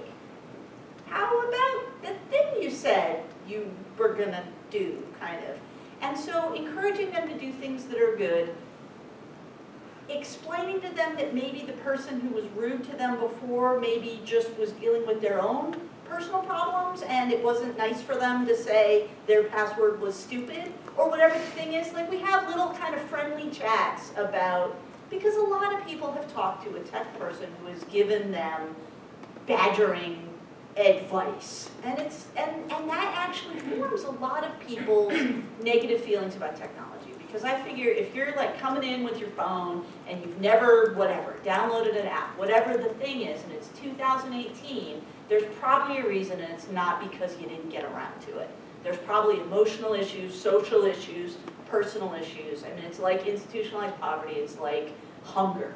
You know, you don't fix the hunger problem by giving somebody a sandwich. You have to deal with sort of concrete social causes. And so I don't get super into it, but I do sometimes suggest to people that like their relationship with their computer is not healthy, um, that, that the computer is really a calculator and it doesn't have feelings, but it's our job to sort of figure it out. I do a lot of kind of expectation setting and normative settings, like, you know, you're having a hard time using this website and that's because it is terrible. Like that's the judging that we do get into. It's mm-hmm. like it's you and me against your computer and we're gonna make it do what you want because that's its job and we need to talk to it about how to do that. And so the only kind of negativity that comes in is being like, you know, this website isn't very good and it's probably not very good because that person didn't get paid a lot to make it because if they were somebody who got paid a lot to make websites, they wouldn't be making government websites in Vermont. You know, like seriously, you and and that's why, Like we all live here for great reasons. And so trying to really have the interaction be positive to the extent possible to try and help them link to other resources in their community. Like in my dream world, drop-in time dissipates because nobody ever needs it again. Um, but pointing out, hey, you can go to the library. Hey, did you know the community college library is open till 10 p.m. and you can print 25 pages for free? Hey, did you know they've got broadband at the coffee shop and really good snacks? Like trying to help people use other resources so they don't look at me as their only lifeline to this. And then as far as security on top of that, or sort of safety, kind of building that in and also kind of modeling good behavior. Like I make a joke about my house being unlocked because it makes me laugh. But like I use two-factor authentication on my email and I explain to people what that is because it's safer. And like we're a small town, everybody uses one of two banks. I tell them how to like this is how you can set up web banking. This is how when the bank emails you, you can have a little security line that comes in your email so you know that email's from the bank. A lot of people don't know that that's a thing. They just assume internet banking is hard, impossible, dangerous, or whatever. And so I try to help them. So like whenever I get email from my bank, it says, this is your bank, we are not fucking around. But that's how I know it's from my bank and it makes me happy. But telling people that they can actually have some ownership of these technological systems that they feel stuck in can help them feel a little bit of agency, which is sometimes what's missing. And sometimes people just have like personalities that are going to be really difficult for learning stuff. And so you try to figure out how to meet them where they are, which is you know super important, and see how you can get them a little bit farther down the road, not being like, well, we're totally going to get you on GitHub this afternoon. because maybe we're not, but maybe that's a good goal, and then you scaffold up to that goal and you realize that that scaffolding is going to be different for other people. I spend so much time just kind of calling bullshit on a lot of the other things people have said without being negative, but just being like, you can understand why Google does what they do, but that's because they're a giant advertising agency. I, There's, um, I just want to make one quick comment. There's a really great uh, list of things, list of things you can do to help people use a computer from like 19 Phil, yeah. Phil! Yeah, which I got from your, I was going to give you credit because I saw it on your blog. It's called How to Help Someone Use a Computer from Phil, how do you say his last name? I say it, Agre. Agre? Yeah, it's on Jessamyn's site. And H E R E, how to help someone use a computer. it's, it's so good. I mean, it was written probably, what, 20 years ago and it's still relevant. Yeah, it's just a lot of simple truisms to remember when you're helping someone who doesn't know computers. And it's just like little kind of koans, philosophy stuff. Yeah, like But- no one's born knowing this stuff. You've forgotten what it was like to learn, that kind of stuff. When you look at a user's computer, it may be in a weird state. This is actually normal, so just, you know, move forward. Don't spend a lot of time being like, but I was gonna say, as a follow-up You to do what. that internally, right? Right. I spent a lot of time doing this internally. That's what I always think. I was gonna do as a follow-up to Jessamyn, that I actually, I actually spent a year doing um, tech support. And so I sort of get the response, like after six months of having plugged in your computer, it's hard to keep a certain tone out of your voice when Every do now that. and again, I turn this off and on again, and it fixes the problem, so it keeps me humble. I will tell you that when my staff do that and it fixes their problem, they are so happy. Right. They feel so empowered. But I would,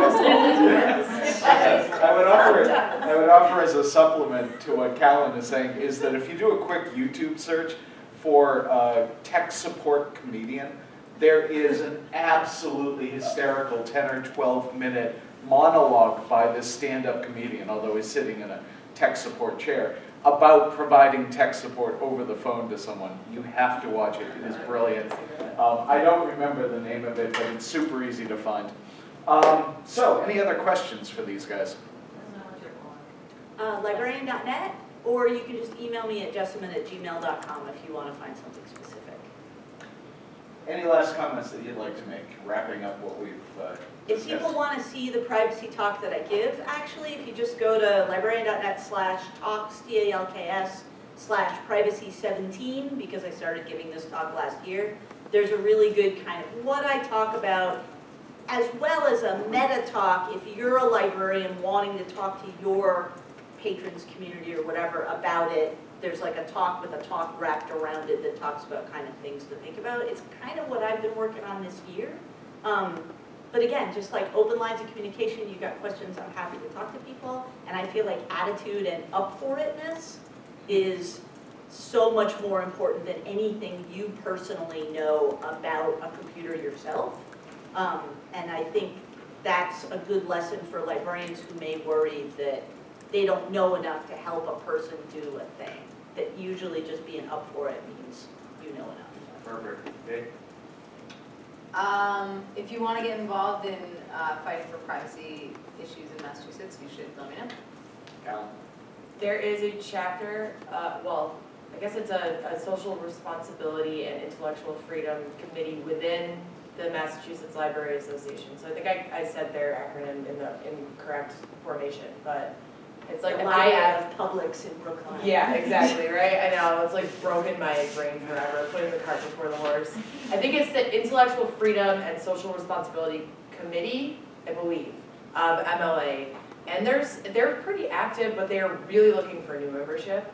Um, and they are really looking for, like, specifically new grads to join in. Join So- any committee and you can be in Yes. charge of it within the next So six true. to twelve months. Hundred percent true. Also cannot overstate the importance of being at conferences like the MLA conference at the state level and also the NELA conference at the regional level because things like that, the pits, where it was actually addressed at the MLA conference. Yeah. And don't forget as students, you get discounts for membership and there's money available to attend the conferences through LISA, so take. And there's a good joint membership deal for NELA and MLA right now too, so that's cool. Matt? Um, well, for, um, my work in copyright, um, and best practices, there's the Center for Social Media Impact that, so yeah, they create a lot of best practices in different disciplines for, uh, best practices for fair use and other, um, other realms. Um, so it's a really good website go to. Um, just a bunch of partnerships, um, documentary film, uh, Poetry. poetry. Yeah. Um, it's it's really good. It's been my go-to spot to get guidance. Well, and I'm, I'm actually kind of sorry that we didn't have as much time to kind of delve into fair use or first sale or some of these other kind of naughty. That's fine. Yeah. Go another one.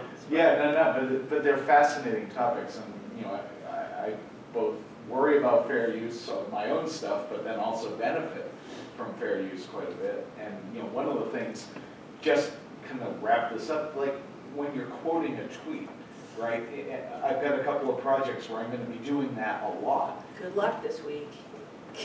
Well, because there was that big lawsuit, like last month. Well, fill me in, because I missed All that. right. But no, seriously, I mean, how do you fair use like a tweet where it's ten percent of the work? Like, is that the first two words or what is it, twenty-four characters now? out of- Embedded tweets in journalism. Yeah. It was about, the case is about photographs, right? Yeah, It's so like, it happened to involve. yeah, Yes, like you're like okay. putting, you know, if you, somebody takes a picture and then you put it on your website as an embedded Yeah. Embedded tweet with a Right, that's journalistic copyright photograph. violation. Well, sure, right, Yeah. yeah, yeah, But that's. that's kind of crazy. Anyway, So we're delving in, we're delving Hey, into the the whole, weeds web- here. the whole internet's illegal. Yeah. I knew it. So Motiva, uh, like on a very Yeah. small scale, like Yeah. let's look, just look up. Yeah. Well, and there is actually a hyperlink lawsuit that I saw kicking around these Those days. never go Jesus I anywhere. know, I know, they're, all- they pop up like weeds. My Anyway, I'd like to thank the panel here very much. And I'm going to ask them to shift over and act like judges in The Voice while I uh, do a very condensed version of my Cyber Traps for Librarians uh, presentation. You sit over there. Yes, you can please go ahead and move. Cool. Yes, sit wherever you want. And, uh, Anyway, I'd like to thank each of you. We will be chatting Thank you very afterwards. Um, Excellent Thanks. job. Thank you. Really well done. Thank you. All right, let's power this up and I will blast through this. What's that? Yeah. I see. That's fair. It's a stylus. Good job. Stylus. Okay. Oh, is that the door that doesn't lock? Yes. And this is the mouse. There's more stuff. Don't run on that. That should be fun. Just. Switched. Um, while we're waiting, we do have snacks and drinks. and Absolutely. So much cheese, please. All of the food.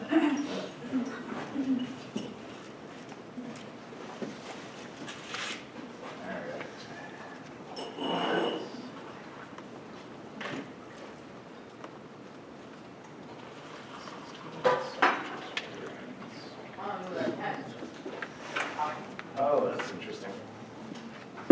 Now I know why I use my uh, computer because I have my fancy fonts.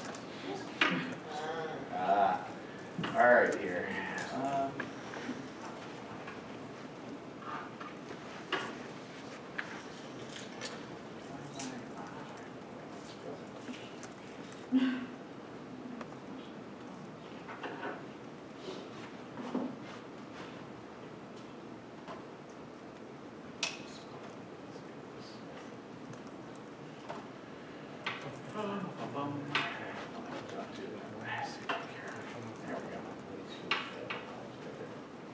So we're doing this on a fast basis, which means that, um, as I said, you will not get the super cool font issues, but that is okay.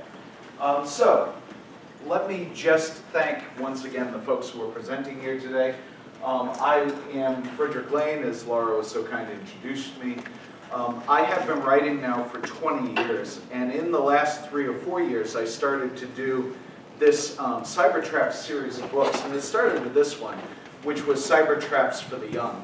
And the idea about this book was that it occurred to me that with these mobile devices and with computer technology, we were giving kids the capability of committing crimes in ways that we had never really imagined. And unfortunately, a lot of those crimes um, involve teachers. And because of that, and because of my work on the Burlington School Board, I began writing Cyber Traps for Educators, which has formed the bulk of my work over the last few years, going out and doing professional development, uh, training teachers, dealing with departments of education. And I'm in the process of turning this into version 2.0, uh, which incorporates a lot of different ethical considerations that teachers are working on. And then last summer, I did this book, which was Cyber Traps for Expecting Moms and Dads. And it really is designed to help people understand some of the um, legal issues and privacy issues surrounding pregnancy. So everything from should you put your sonogram online, um, which has medical information around the edge, should you register your child's domain name, should you Google the availability of a domain name before you name the child, um, are you appropriating the child's identity by putting photos online on Facebook over a period of time? Um, because when they turn 13, maybe they don't want to be, you know, like the little fashionista, maybe they want to go completely goth, but they've got 13 years of photos that they have to push back against. So there are some really interesting issues out there. When I was doing the course for Lauren, she has to sit through a lot of these slides in repetition, um, I was researching, and it turns out that this is the first lending library, not the first public library, but the first lending library in the United States. And they actually named it after the town, after Franklin, when Franklin was still alive. And so he showed up at the opening of the library and donated part of his library uh, to them. And I was really excited to see Franklin's books and drove like 45 minutes out of the way on my way up to Boston to take this photo. And unfortunately, they're rehabbing their library. And so the books are in cold storage somewhere and they, they're not available for another six months.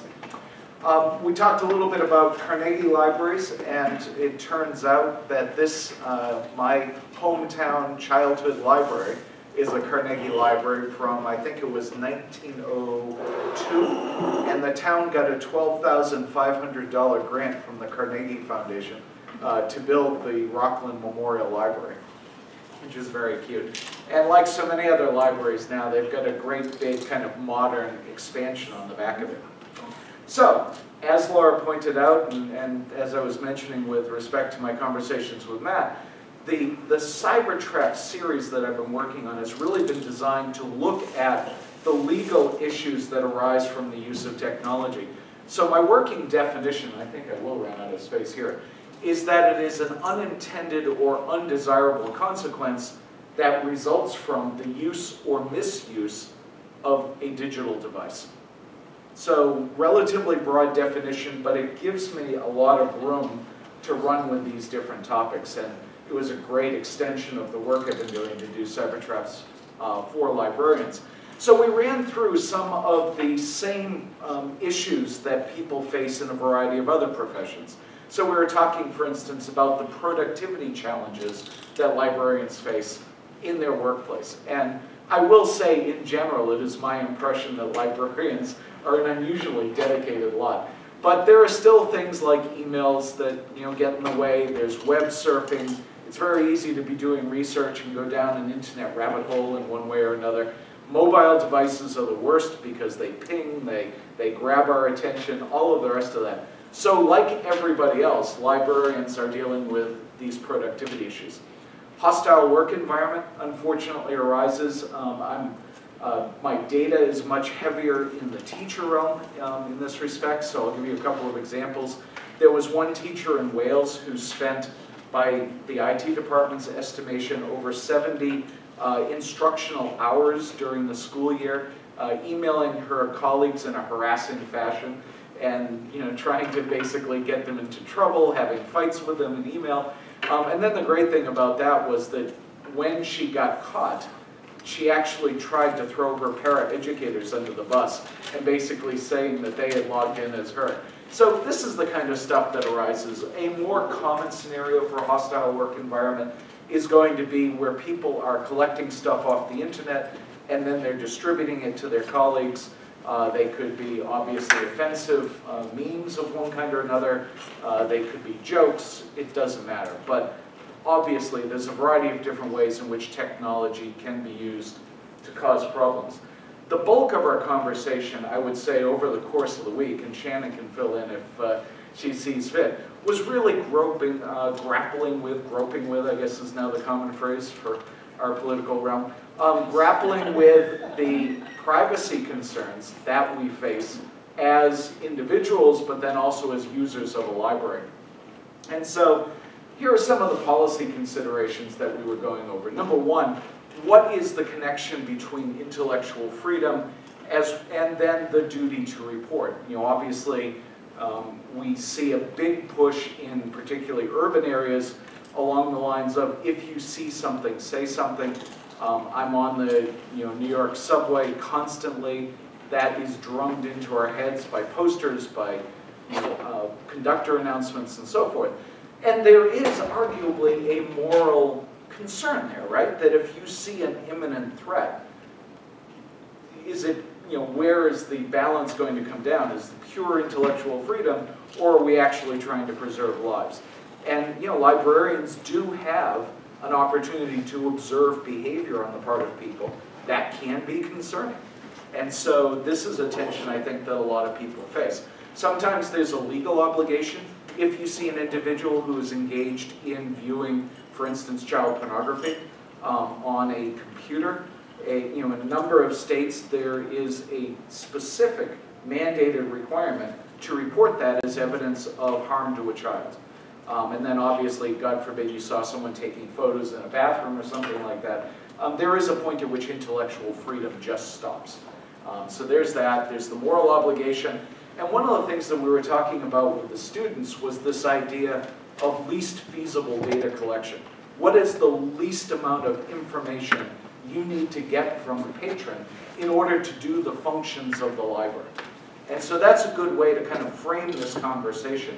Are we collecting more information than we need to just because we can? And one of the problems we face with technology, as I'm sure all the panelists will agree, is that it makes data collection staggeringly easy. And then the other thing that you run into is the shortest necessary data retention. And I was interested actually to hear, I guess it was you talk about the fact that the videos are wiped out or deleted. Well, as someone who works in the field of computer forensics, I constantly deal with the fact that data doesn't get deleted that those images, you know, unless you're active about scrubbing them, reside on a hard drive somewhere. And so they are still potentially retrievable. Um, and that goes back to decisions made 40 years ago by Steve Jobs, you know, Bill Gates, Paul Allen, all of the early computer um, innovators were trying to figure out how to deal with this. And their solution was, because the hardware is so slow, we're not going to delete the data we're just going to kind of erase the memory in the master file table, but all the data is still on the hard drive. And now, 30, 40 years later, we have a multi-billion dollar computer forensics industry that is based on that one decision. So when we talk about privacy, we have to keep in mind that sometimes the technology pushes back against our efforts to create privacy just by the way it functions. And I think all of our panelists today talked about the fact that a significant piece of this is educating patrons about what goes on and what their rights are, what, their, what the implications are of what's going on. And my sense from talking to the students and then also listening today is that there's often a lot of organizational inertia against that kind of transparency. And that's something we need to deal with, I think, in, in more places than just libraries. But libraries should be at the forefront of being really transparent about what information they're handling and how they're handling it. Okay. Uh, quick rundown on physical security of data because I think librarians need to consider these possibilities. Number one, where is it? Where physically in the building is the data stored or outside of the building? And then what kind of access control do you have? So things like what is the physical layout? Is it easy for patrons to see what's going on? The example of the hold shelf, I think, was really brilliant. You know, that without a careful examination as to how that is handled, it is possible for people to see information about who's borrowing which books just by walking by. And so it's an effort to make the library more efficient, but that very efficiency impinges on privacy. Related to that is within the organization itself, who needs to access information. So for instance, as Callan was talking about the notes in the, um, the system there, the uh, Minuteman system, who gets access to that information? Is it someone who actually needs to have it? And then sometimes this very simple step gets overlooked. Like, do we have adequate locks to handle this data? Nothing very complicated. Here's something I think we should be discussing in more detail, which is the regular use of encryption for data. Um, one of the things that I try to do is to have a backup system on my computer that goes into something like Carbonite, which is a one-way funnel that is encrypted using a password that only I know. So Carbonite has no way to read the data in the backup that they do for me. So it doesn't matter if the FBI shows up, it's just gibberish. Some people will actually go the next step, and, and Jessamyn, you may talk about this, in terms of encrypting their personal computer. Um, that gets complicated in terms of whether or not you have to turn over your password or not. And that's even more of an issue when you're coming into the United States because there's been some very disturbing rulings about the ability of Homeland Security to do these kinds of random device searches. And then lastly, we talked obviously a lot about privacy screens, how they impact uh, the you know security or the um, the ability of patrons to look at material without other people knowing what's going on. Um, that again is a double-edged sword if you're concerned that someone's looking at contraband material. So one of the things actually that was kind of fun about this was that in contrast to teachers who provide endless number of examples of the misuse of social media, librarians are a remarkably well-behaving bunch. It's really, I actually built an assignment around misuse of social media, and we had to put it off a day because they were having so much trouble finding examples. So kudos to you all, that's great. Um, but there are still examples out there of librarians who have hassled their political leaders over budget cuts or things like that, other kinds of policy changes. There was a case of a librarian who posed with an AR-15 um, in the recent controversy and put that up on social media. So one of the things that I talk about all the time with teachers is thinking about the potential implications of social media use and realizing that there is absolutely an audience factor out there that you need to keep in mind. One of the things also that librarians should recall or keep in mind is that you may put in your little Twitter bio that retweets are not endorsements, but as someone who works with the public, forget about it. They will be viewed that way. So it does need to be something that you think about. Uh, there was a great example actually involving the Burlington, Vermont School Board recently. I don't know if you heard about this, Jessamyn. Yeah. and I took this very personally as a former board member, but uh, there was this individual on the board from the north end of the city, which is a little more conservative. He reshared a whole bunch of memes on Facebook. And he just spent a couple of nights clicking share, share, share, and did it in a very non-thoughtful way. And he just was kind of hitting reshare for things he thought his family would laugh about. Unfortunately, they were pretty offensive, a large number of them, particularly in a, a progressive city like Burlington.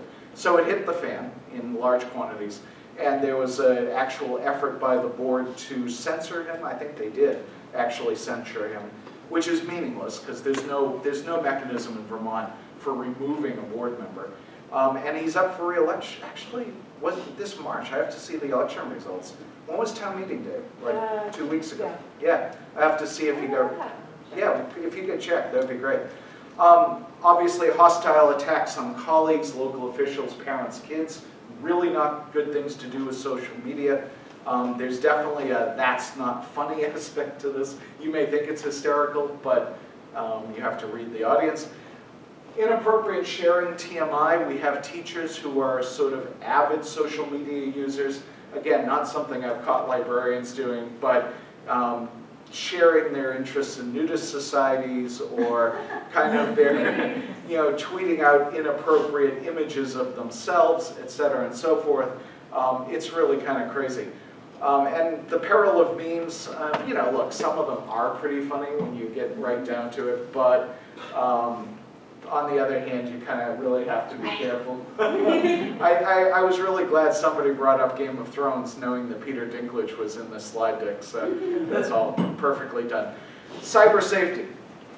Uh, a lot of our conversation was dealing with what are the responsibilities for librarians in terms of cyber safety of themselves, personal information, financial data, all the rest of that, but much more importantly, the cyber safety of their patrons.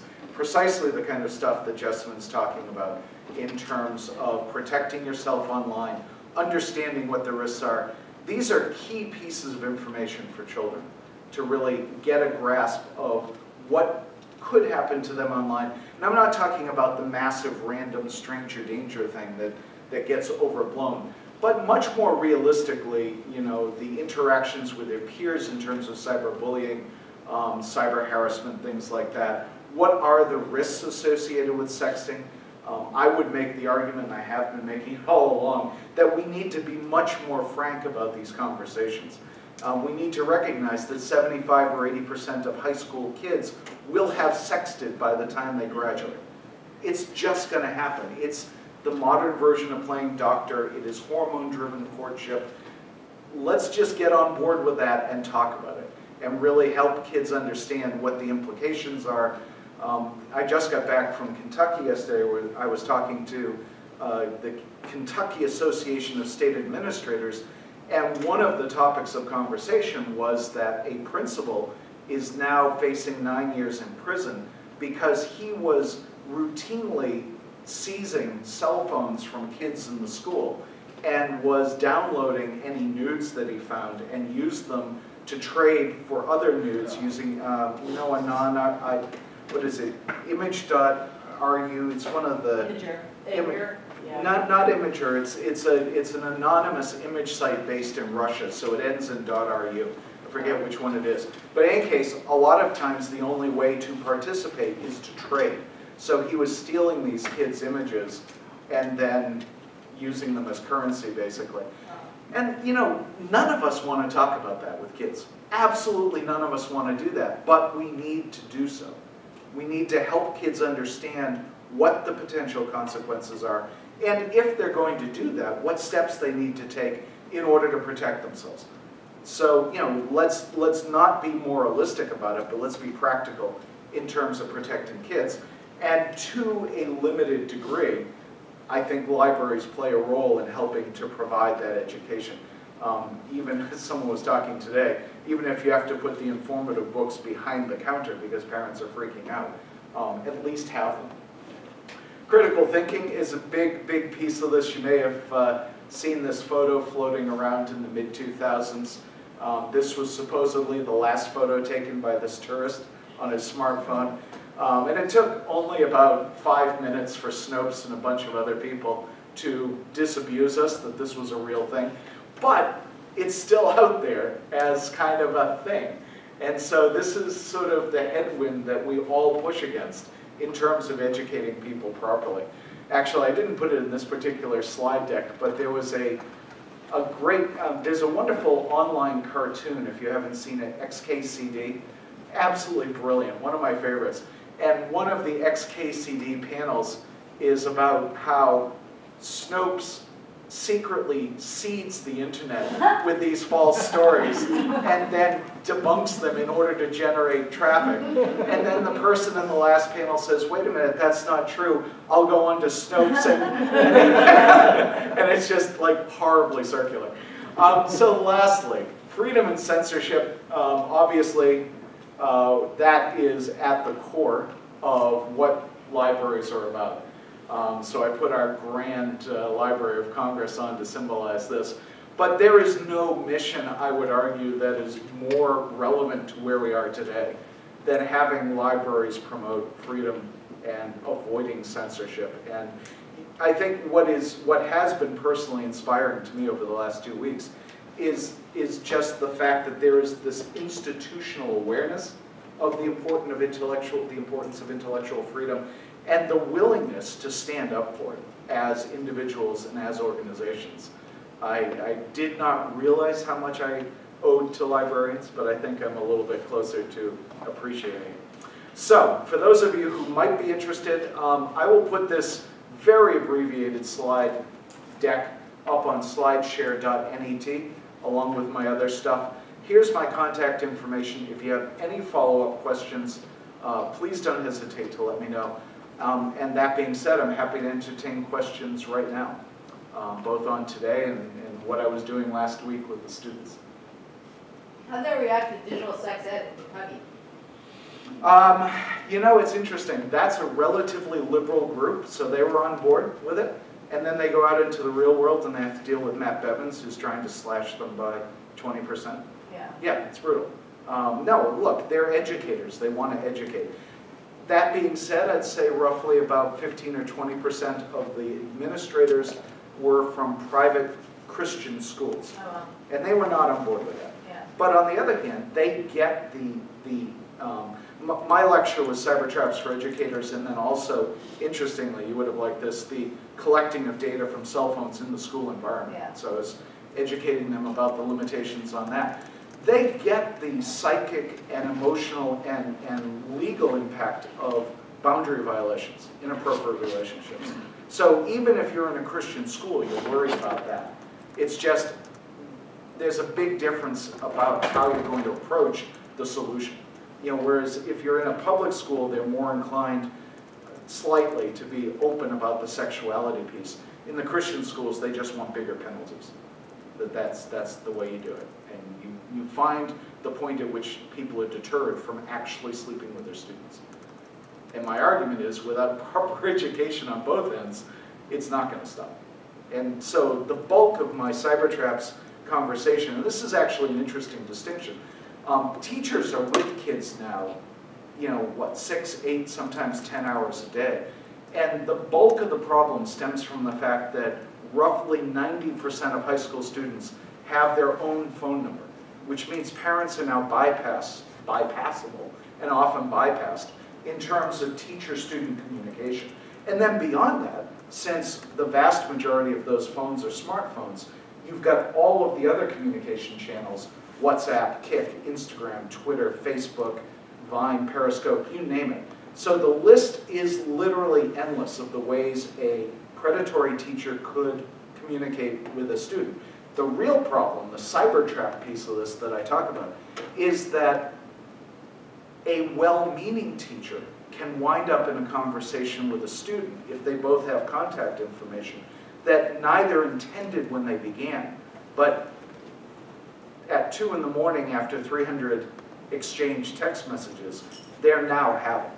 And the classic scenario, time after time, will be that you will transition from what page is the homework on to I'm having a miserable time at home and I don't have anybody to talk to.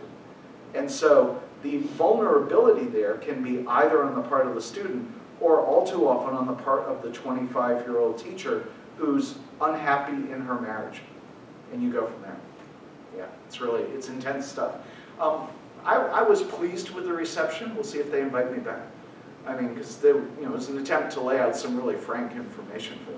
So, any other questions on cyber traps issues?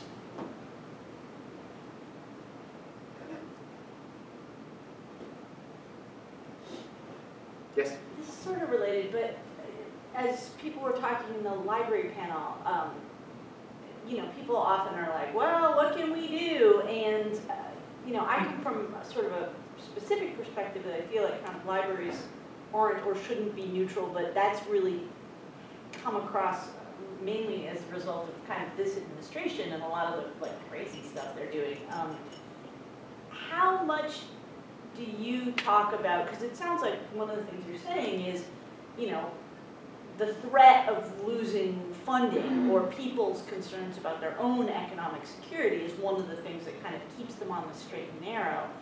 How much do you um, talk about or feel like it's okay to talk about when you're sort of giving advice, manipulating the way things are funded in order to sort of work on the results that you want? You know what I mean? I mean, because it sounds a little bit like what you need to be doing talks to schools about, uh, or, you know, businesses or whoever it is that you're talking to about like moving their money around differently do you get to that level of stuff, or do you leave them to kind of figure out how to implement the suggestions that you make about general ideas? Mostly door number two, but occasionally I'll get into the weeds in the side conversations. And my experience has been that the particularities, you know, particularly for a conference like this, which was statewide, and so you've got people from really poor, rural, eastern Kentucky to slightly more urban Louisville and Lexington and things like that. So there's very different experiences culturally, politically, financially. So it's not worth it for me to try to say, in your district, you know, take from this Don't pot. give these guys any money, or give those guys more money. Right, right, right. And, and so, on the other hand, when I'm talking to people getting, you know, coffee or whatever, then you start to get into some of the particulars about how you can implement these things. And, you know, the biggest thing is really helping the teachers to think about what their role is. Because I think one of the most interesting aspects of this is that to a disturbing level, you see teacher of the year in the headlines for these things. And part of that is just clickbait, right? If you're gonna have a teacher going bad, it's way better if it's a teacher of the year going bad, because that really grabs people. But there's also a statistically relevant aspect to that, which is that those teachers and others like them are very empathetic. And they really want to reach the kids where the kids are. And so if the kid is on Instagram or if the kid is really active on Twitter, their pushback is, hey, this is where the kid talks. I can reach this kid here. The problem being that there's no transparency, there's an immediacy and an intimacy to electronic communication. I mean, we talk about it being distancing. I completely disagree. I actually think that there's a real intimacy to electronic communication because it's immediate. And then, you know, as you point out, these conversations wind up happening bedroom to bedroom at night. And you never think about that, but implicitly it's in the back there. And so the kids take advantage of it, the teachers do. Yeah, Matt? Um, in regards to that, um, how effective is policy? Well, that's a fair question.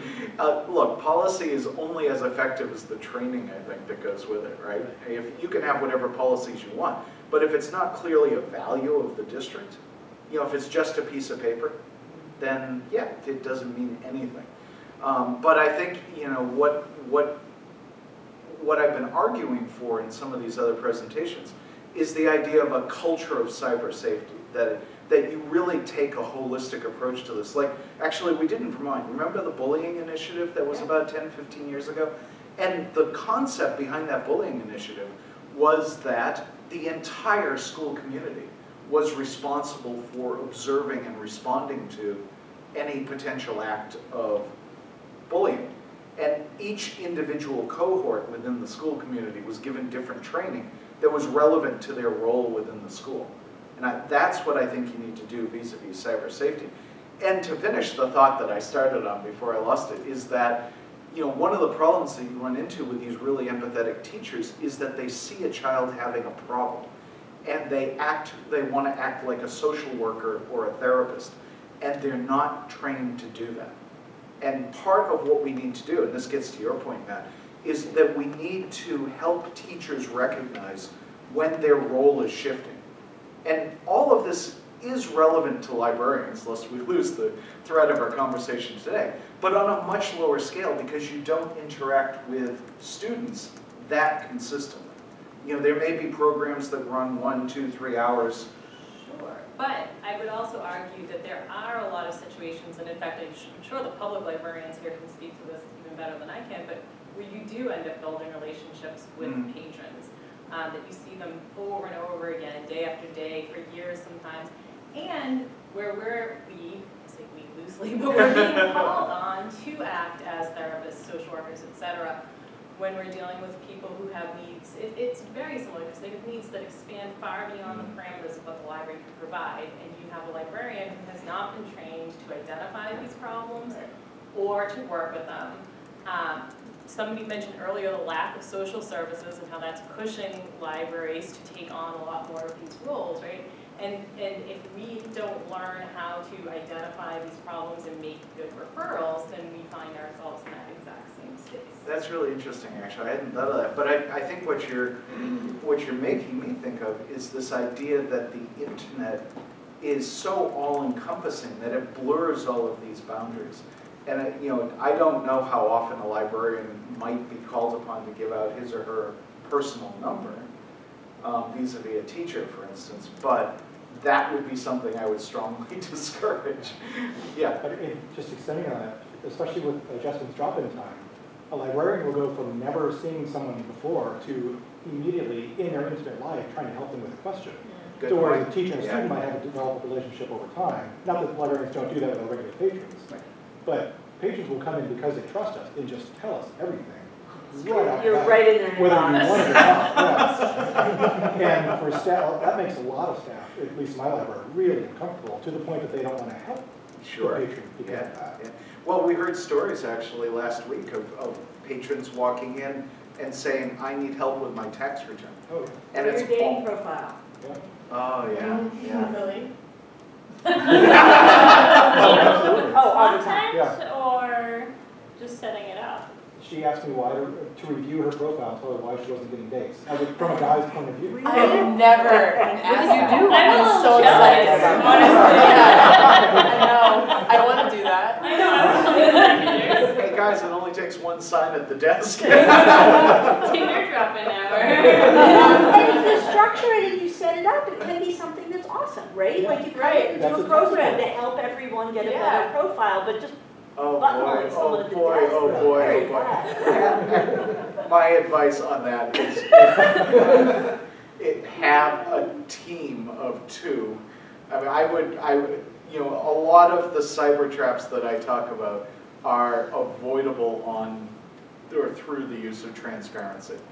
And that's the thing, you know, if, if a kid texts you at some weird hour of the night, whether you're a teacher or a librarian, unless it is a life-threatening emergency, my response is you, you write back, adding another adult to the conversation, and you say, see me in the morning, or contact one of your classmates.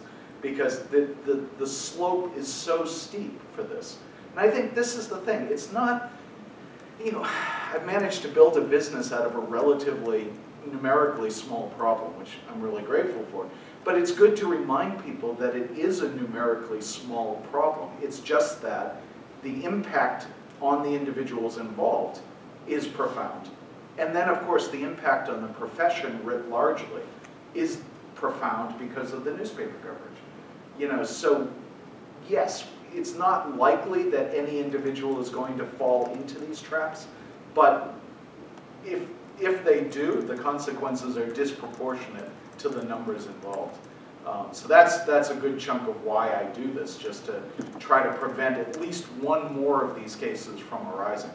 Um, because that seems like a good day's work, you know, if you can do that. But I think institutionally, to get back to Matt's point, it, it, we want to, we don't want to talk about this stuff. Believe me, I, I mark it all the time, and they don't want to talk about this stuff. But um, those that do, I think, have a real advantage because they're trying to take a broad-based solution to these issues. It's not easy. It really isn't. I don't know. How about Bentley? How does Bentley address any of this? I mean, you have a different age cohort. Yeah, I mean, we, we have received some training as far as identifying stress, um, particularly during finals, because we are, you know, the reference test. Um, even just um, identifying somebody who might need counseling. Yeah. Um, so we have a listing of resources to direct them to, and you know, pamphlets and stuff like that. But we know where our role ends as a support and where we need to refer to. So you're not offering to get someone a cup of coffee and talk things through? No. That's probably just as well. Well, one of the things that I found really helpful in the library world over the last like two years or so um, that I've seen it is the concept of mental health first aid. Like we send a lot of our librarians to like CPR training, or you learn how to use the the heart attack machine, or whatever the thing is. But Yeah. there's a new group of people um, that'll help like community uh, mental health practitioners do mental health first aid because there are a lot of people dealing with mental health challenges that come to the library all the time. Whatever, great. Um, but figuring out how to tell the difference if somebody's in crisis versus somebody's just behaving oddly versus somebody may actually need some like mental health care or medical care quick is actually a great way to help people who literally do need your kind of checklist. Like add another person to the conversation. That's the thing because people a lot of times can get their head around something like that or you know this kind of delusion is probably not a problem but this kind of delusion really might be a situation but for a lot of people who don't have a lot of experience with whatever the thing is Yeah. you know you're a new teacher you have no experience with like 13 14 year old kids texting you about how things are at home just having like a checklist to follow That's it. especially when to get to the not your job thing That's is one of the things that's super helpful. And I talk up mental health first aid a lot because I'm like, look, if you learn to do CPR, the chances that somebody's going to come into your library and have a heart attack are lower than somebody's going to come into your library and possibly having a mental health crisis. We're prepared for this. We're totally not prepared for that. It's a great point. And you could be. Yeah, one of the big pushes down in New York City is to give mental health training to first responders. Um, because oftentimes, you know, they're confronted with really, you know, challenging mental health issues. And without that training, it tends to escalate into more physical responses as opposed to not. Well, people make paradoxical choices because they think they're in one kind of situation when often they're in a different situation. Yeah, yeah, that's a good point. I mean, it, it's not an area actually I know all that much about and, and would be hesitant to really dive into. Um, any other questions that people would like to ask about this? I had one more actually. Please, go for What's it. the biggest pushback you get from people that you give this kind of training to? Where they're like, oh, we couldn't, or that won't work here, or you don't know what you're, this, that's not how this works. The biggest pushback I get from people is that would never happen to me. I would never do that. And I, you know, then you just, one of my standard slides now is recent headlines. And it's just, and, and you, when you look at how minor some of the starts are down that slope, that's the point I try to get across to people, is that, yes, you're a good person. Somebody in this conversation was talking about how, uh, was it you, Callan, that basically the vast majority of people are, are decent, and sometimes they just have bad days. Well, a lot of these incidents with boundary violations start because someone's having a bad day. Yeah, they're fighting with their spouse, they broke up with their boyfriend, you name it, they're fighting with their parents. It's just a bad day, and that's the low moment, and then it starts. And they're not necessarily bad people, right? And I do distinguish between probably the majority of these instances being true traps, unintended things, at, from the predators. My, my cyber traps book is not about predators, because predators will do this regardless of policy, regardless of whatever IT policies you have in place. They will figure out a way to do it because that is what their goal is. But what I'm really trying to help people understand is that technology has made these incidents easier and faster because we've lost reflection. And one of the slides actually that I showed yesterday was for teachers, and, to some degree it applies to librarians, you know, disconnect. Get off of social media and the internet to begin with. Misdirect.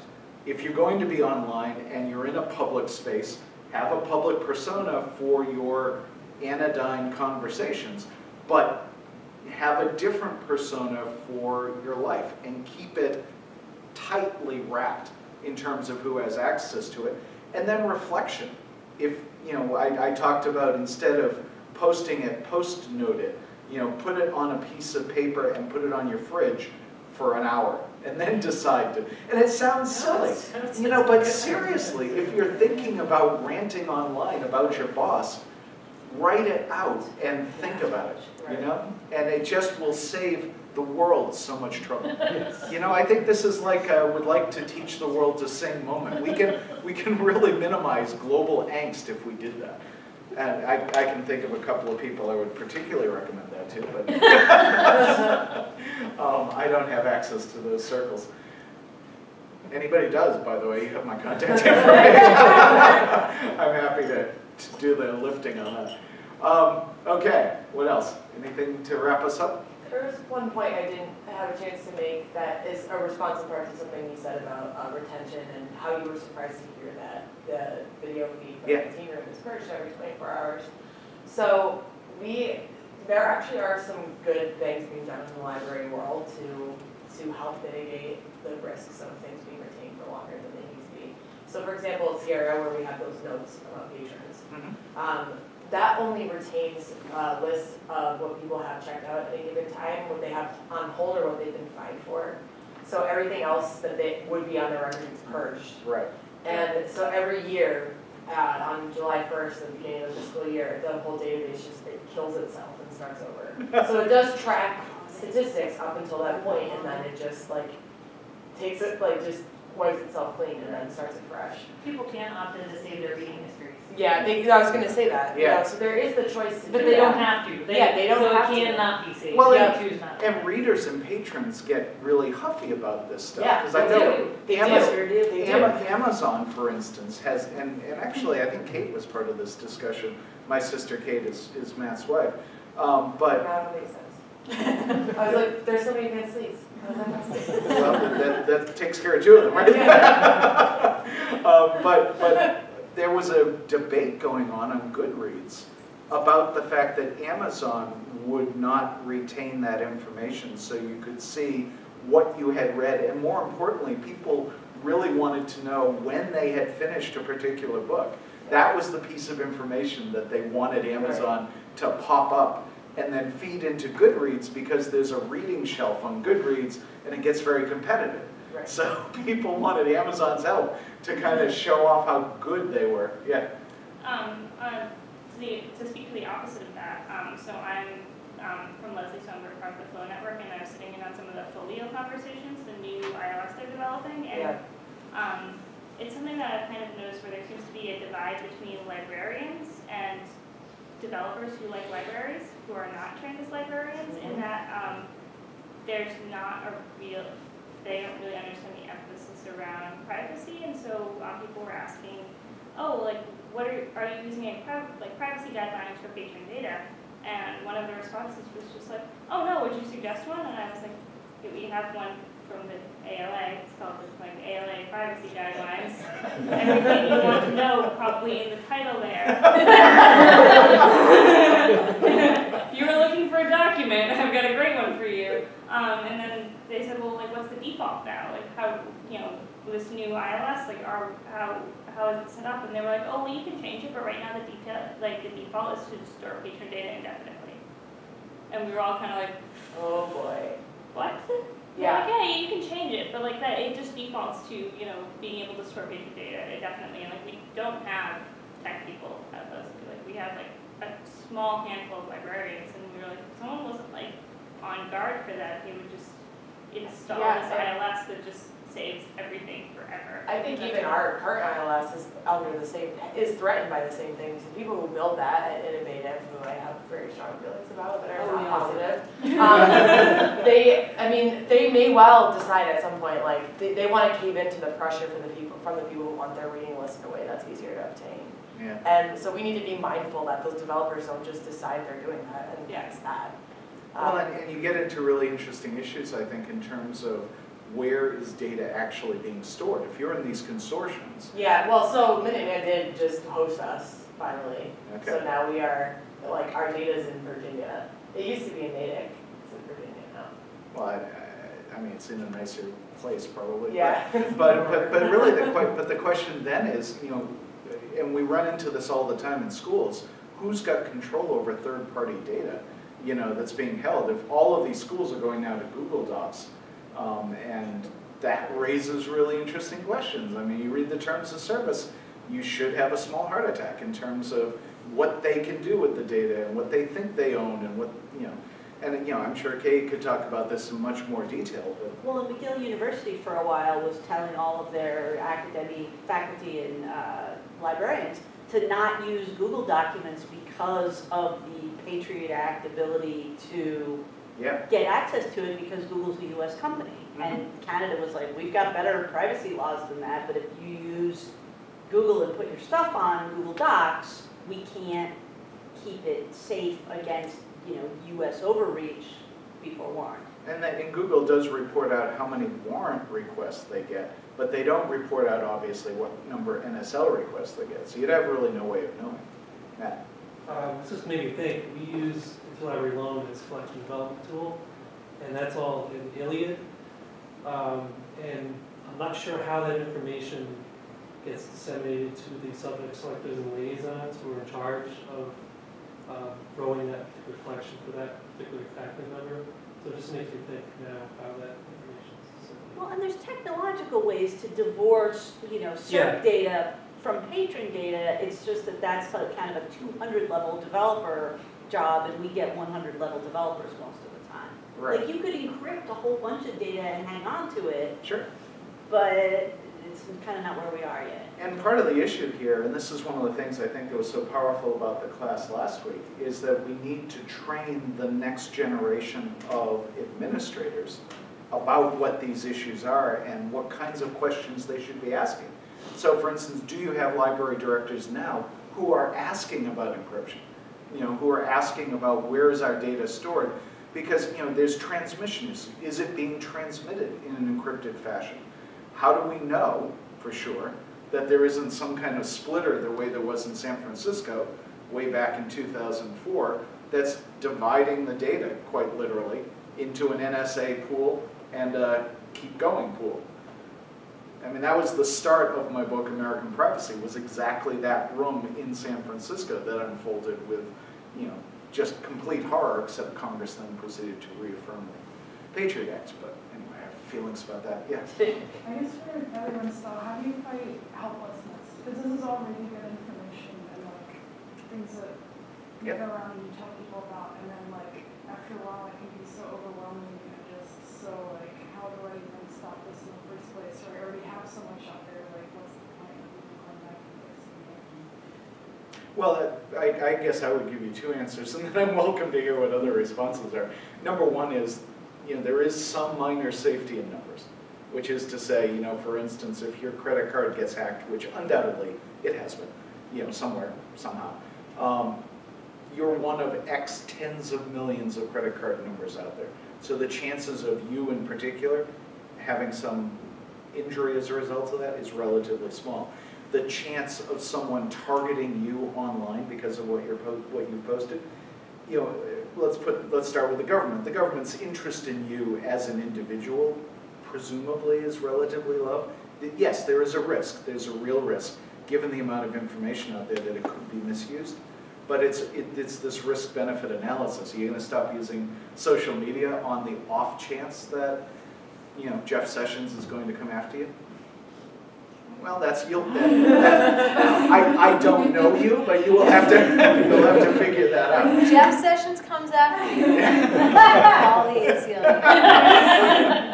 Definitely want to know that. But, but the other answer, the other answer to this, and, and I think the much more practical answer for all of us, myself included, is to be reflective about what you put out in the world. And no, you can't undo the internet. There's no redo button, you know, for the internet, not an easy one anyway.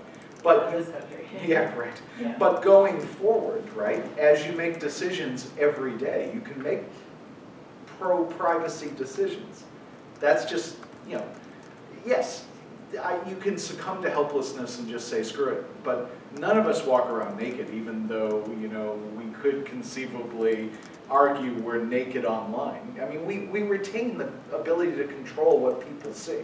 So, yeah, eh, just make good decisions going forward. You- Really, that's all we can do, um, is to be as mindful as possible about what we're doing online. I would say one more thing. Please. Which is, um, well, a couple things. One is that, yes, we can change our behavior and, you know, you actually do probably have more privacy than you might think, right? I mean, if you're conscious of these issues, then, you know, you're probably already doing things that are protecting you more than folks who are not thinking about these things. And there are other things you can do too that are really easy. Like, for example, if you want to get like a rewards card at CVS, you can just write a fake name. You know, like they don't care, actually. Um, Right. And, and you can also, you know, not buy an internet connected TV if you don't, you know, like you can, you can certainly make choices as, a- as a consumer. And, and I always say, like, people will be like, wow, you use Google Maps? And I'm like, yeah, I need to get places. There's no other service that provides what Google Maps does. But there are a lot of other email services. I don't have to use Gmail. You know, there are like a million email services that are just as good as, as Gmail. Um, so thinking about it in that way too, like, do you actually need this thing that mi- might be taking your privacy um, and selling your information, or could you use a different service that may protect you more? And in some cases, like with Google Maps, there's no there's no alternative to Google, Google Maps. I don't think that's like legit. Yeah. Um, so I use it, you know, because it's really good. It's a great service. um, and it's free in exchange for my personal information, right? So I'm aware of that, but there's nothing else out there, really. Um, and then I would also say, like, just politically, that it's not enough just to do things that are, like, personally protective, right? But I have a friend uh, who's an organizer in New York, Mariame Kaba, and she does work around police and prisons. And she always says that um, hope is a, is a practice, right? It's like a political act to be hopeful. So I think that's really important. Um, and we shouldn't give up ever, because if you do that, you're basically dead, spiritually. um, and then, you know, Antonio Gramsci, the Italian philosopher, said something similar. He was like, he, I have a pessimism of the intellect and an optimism of the will. And that I think describes the way that I think about these issues and almost everything, like certainly climate, like not a great, not great, facts aren't great, you know? But if we woke up every morning feeling a sense of dread and like fear about the ocean swallowing us, like we wouldn't be able to eat breakfast or go to work or do anything, you know? So it's like, yeah, we know that shit is really bad. And at the same time, we have to believe that we can make the world a better place.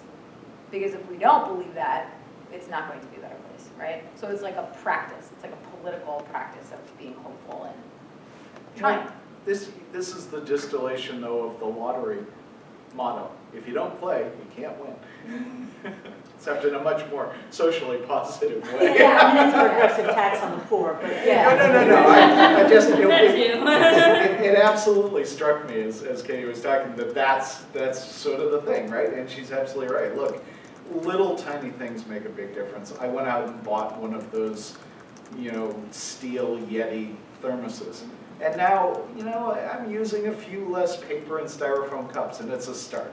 It, it will not change the state of the Sargasso Sea appreciably, but it's a start. And that's, I would say that is true online as well. Just do little things and build them up. But I love the optimism piece. That, that's a great quote that I will repeat endlessly now. Just on a really practical level, I want to make another plug for the Library Freedom Project, which I know Kade and Jessamyn both uh, mentioned. Also because though, it, um, it brings together some very specific tools that you can use. You know, I know like Jessamyn mentioned Privacy Badger, right? Like a very easy extension that you can put onto to your browser to help you like see if you are, you know, to help you see how um, secure some of the sites are and things like that. And so that, if you go to Library Freedom Project, you'll see lists of those tools and how to use them and stuff like that. And I think good for us to know that for ourselves, also good for us to be able to teach our patrons about those things. All right, anything else? All right, we'll spend 10 minutes eating cheese and then, or as long as you want. Anyway, thank you very much for coming today. Thank you.